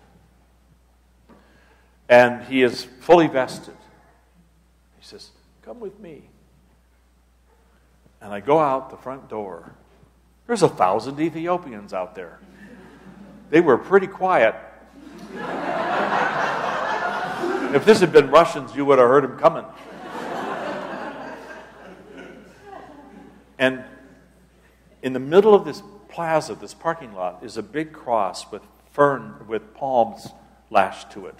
It's the feast of the exaltation of the cross, and they're on the, the same feast calendar as we are. So they are. That was our liturgy that morning for the feast of the exaltation, and it's theirs, and they're having a special celebration in the afternoon. And, uh, and at the far end, facing that cross, are two white watered silk thrones with, made up with black ebony framing. Beautiful, big. And sitting in one of them is Archbishop Marcos. And there's a young man standing behind him with this giant Ethiopian umbrella.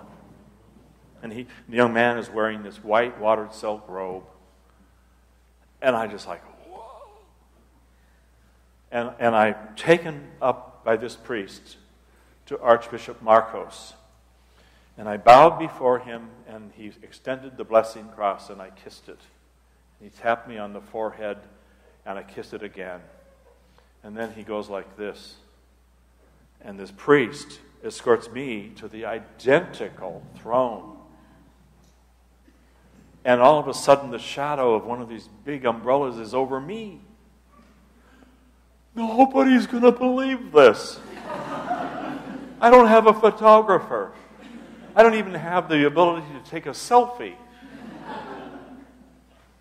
And so, I'm sitting there beholding this incredible ceremony that went on for hours. And, uh, and then the archbishop stood up, and they have this tradition where the choir does this sort of a slow liturgical dance. So you have two rows of young men and women on this side, two rows facing them over here. And one will have a staff, one will have a small umbrella, and the other one will have this percussion instrument that is um, made out of brass, shaped like this with a wooden handle, and there's a wire in between, and it has these, uh, these little um, coins. So if you go like this with it, you make this percussion sound. So the, the, the, three, the, two rows on this side would take three steps forward, and the ones would ta- on the other side would take three steps backward. Forward, backward, forward, backward while chanting the Psalms. It was absolutely beautiful.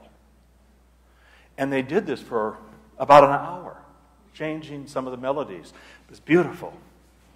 And then we all stood up and we went to the center cross, and the Archbishop blessed it with holy water. And then there was this, you know, you all smelled frankincense, which, is, which comes from the Ethiopians, pure frankincense. They don't use a little bit like we do, you know, like a, here's a little censer, let's put a little in there. They have this big vat like this, like the Old Testament. And they pour huge quantities in here. So there's a huge cloud of incense wafting up into the air. I was surprised the fire trucks didn't come. And, and then we started going around as he was blessing all the four sides of this cross. And then we went back and sat down in our thrones. And then all then they brought the drums out. I wish we had drums. And so then these young men with these drums and a few young women, and they go around and around. And some women had, or some men and women had umbrellas. And some of them had these walking sticks. And they were going around with the children and everybody, around and around and around, uh, with this celebratory dance like King David. It was so beautiful. And then, as things settled down, the Archbishop stood up and he was handed a microphone and he gave a speech. And then, with the microphone, he, he kind of went. I found out later that he was telling everyone that Abbot Tryphon had ministered to one of theirs when they didn't, and was a father to one of theirs who was in prison when they didn't. And of course, when you're coming from a country like Ethiopia, where you've had trouble with the military and with prisons, you're afraid to go. So I never judged them. There was a reason why they were afraid to go to a prison. So in those seven years, I was the only priest that ever visited with their with the son of their parish. And then they handed me the microphone. And I started off by saying, I told them a little story about Shumat and how I came to become to be his, his father. And I concluded by saying, I am an Ethiopian. And they all did that little trill, the women. Oh, I love that. I wish we had that too. That's why we have to all get together, so we can share all these things. And, and they did that. It was, it was just, oh my gosh, it was just beautiful. And then people turned their umbrellas upside down and passed around. And I raised over $5,000 from these poor people. And I sent my son off he married a beautiful woman. And on my desk in my office, I have a picture of my granddaughters. If I ever go to Ethiopia, they're going to think Grandpa just stepped out of a tomb.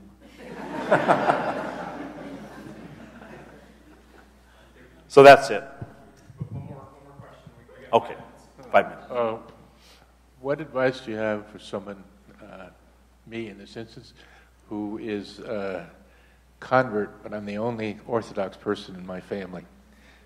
Uh, do you have any uh, any How comments or do we witness our orthodoxy when we're the only member of our family? You know what I did with my parents? I went off to college as an undergraduate with the intention, I went to Concordia College in Portland. I was going to be a Missouri Synod Lutheran minister. I had horn rimmed glasses, hair parted down the side, wearing sport coats and, and collegiate sweaters and ties. And my mother was so proud. My son's going to be a Lutheran minister. And then the 60s hit. And I switched colleges. And I embraced counterculture. And I grew my hair long and my beard long, and I wore beads. And I smelled the patchouli oil. and I smoked something mysterious. And I went home for Christmas. in my Volkswagen bus with flowers and peace signs painted on the side. I have a little replica of it in my office, as you've seen, Connor. And so here I am. Years later, I, be, I go to graduate school, I become a nice, you know, wearing tweed jackets, ties, short hair, trimmed beard. My mother's proud. And then I met Orthodoxy. All of a sudden, I'm smelling of incense. My hair is long. My beard is long. I'm dressing funny. I have things around my neck. And my mother's embarrassed to be seen with me. So she will no longer accept dinner invitations. My parents, oh, let me cook for you. And she didn't even want to hear about orthodoxy because orthodoxy was destroying her son. I was going back to being a hippie in her mind. And you know what I did? I prayed that the Lord would help me be the very best son that I could be to my parents. And I started, I became more sensitive to them. I called them regularly throughout the week, just little short calls. How are you doing, Mom? How are you doing, Dad? And as I did that, and I, and I, I, I gave, once I, I got a big box like this, and I wrapped little gifts, gift wrapped boxes inside of Christmas gifts that I knew my parents wouldn't buy for themselves gourmet items and whatever. I filled a box with this stuff. And I gave it to a priest that lived in Coeur d'Alene, Idaho. And I said, Would you deliver this to my parents? And would you tell them that they are to open the box and take all the gifts and put them under the tree and then hug them for me? And my mother called me and she said, Father Gregory came by and he gave us the box and he hugged us. And I've never been hugged by a Lutheran minister. And it was the beginning of their being Orthodox. So when they see how you change, that how Orthodoxy changes you, and then at the same time you're praying for them. So you're praying that God will help you be the very best family member that you can be and give the very best example of what it means to be Orthodox. And they will see, and this will be sort of like a taste and see, and they will want what you have. And this goes double for you young people in college, with your friends. If they see in you what they don't have, they will want it. But they will only see it if they hear from you. It goes for, for you police officers, it goes for you nurses, it goes for everybody here. Pray that you be the very best person Glory to thee, O Christ our God. Glory.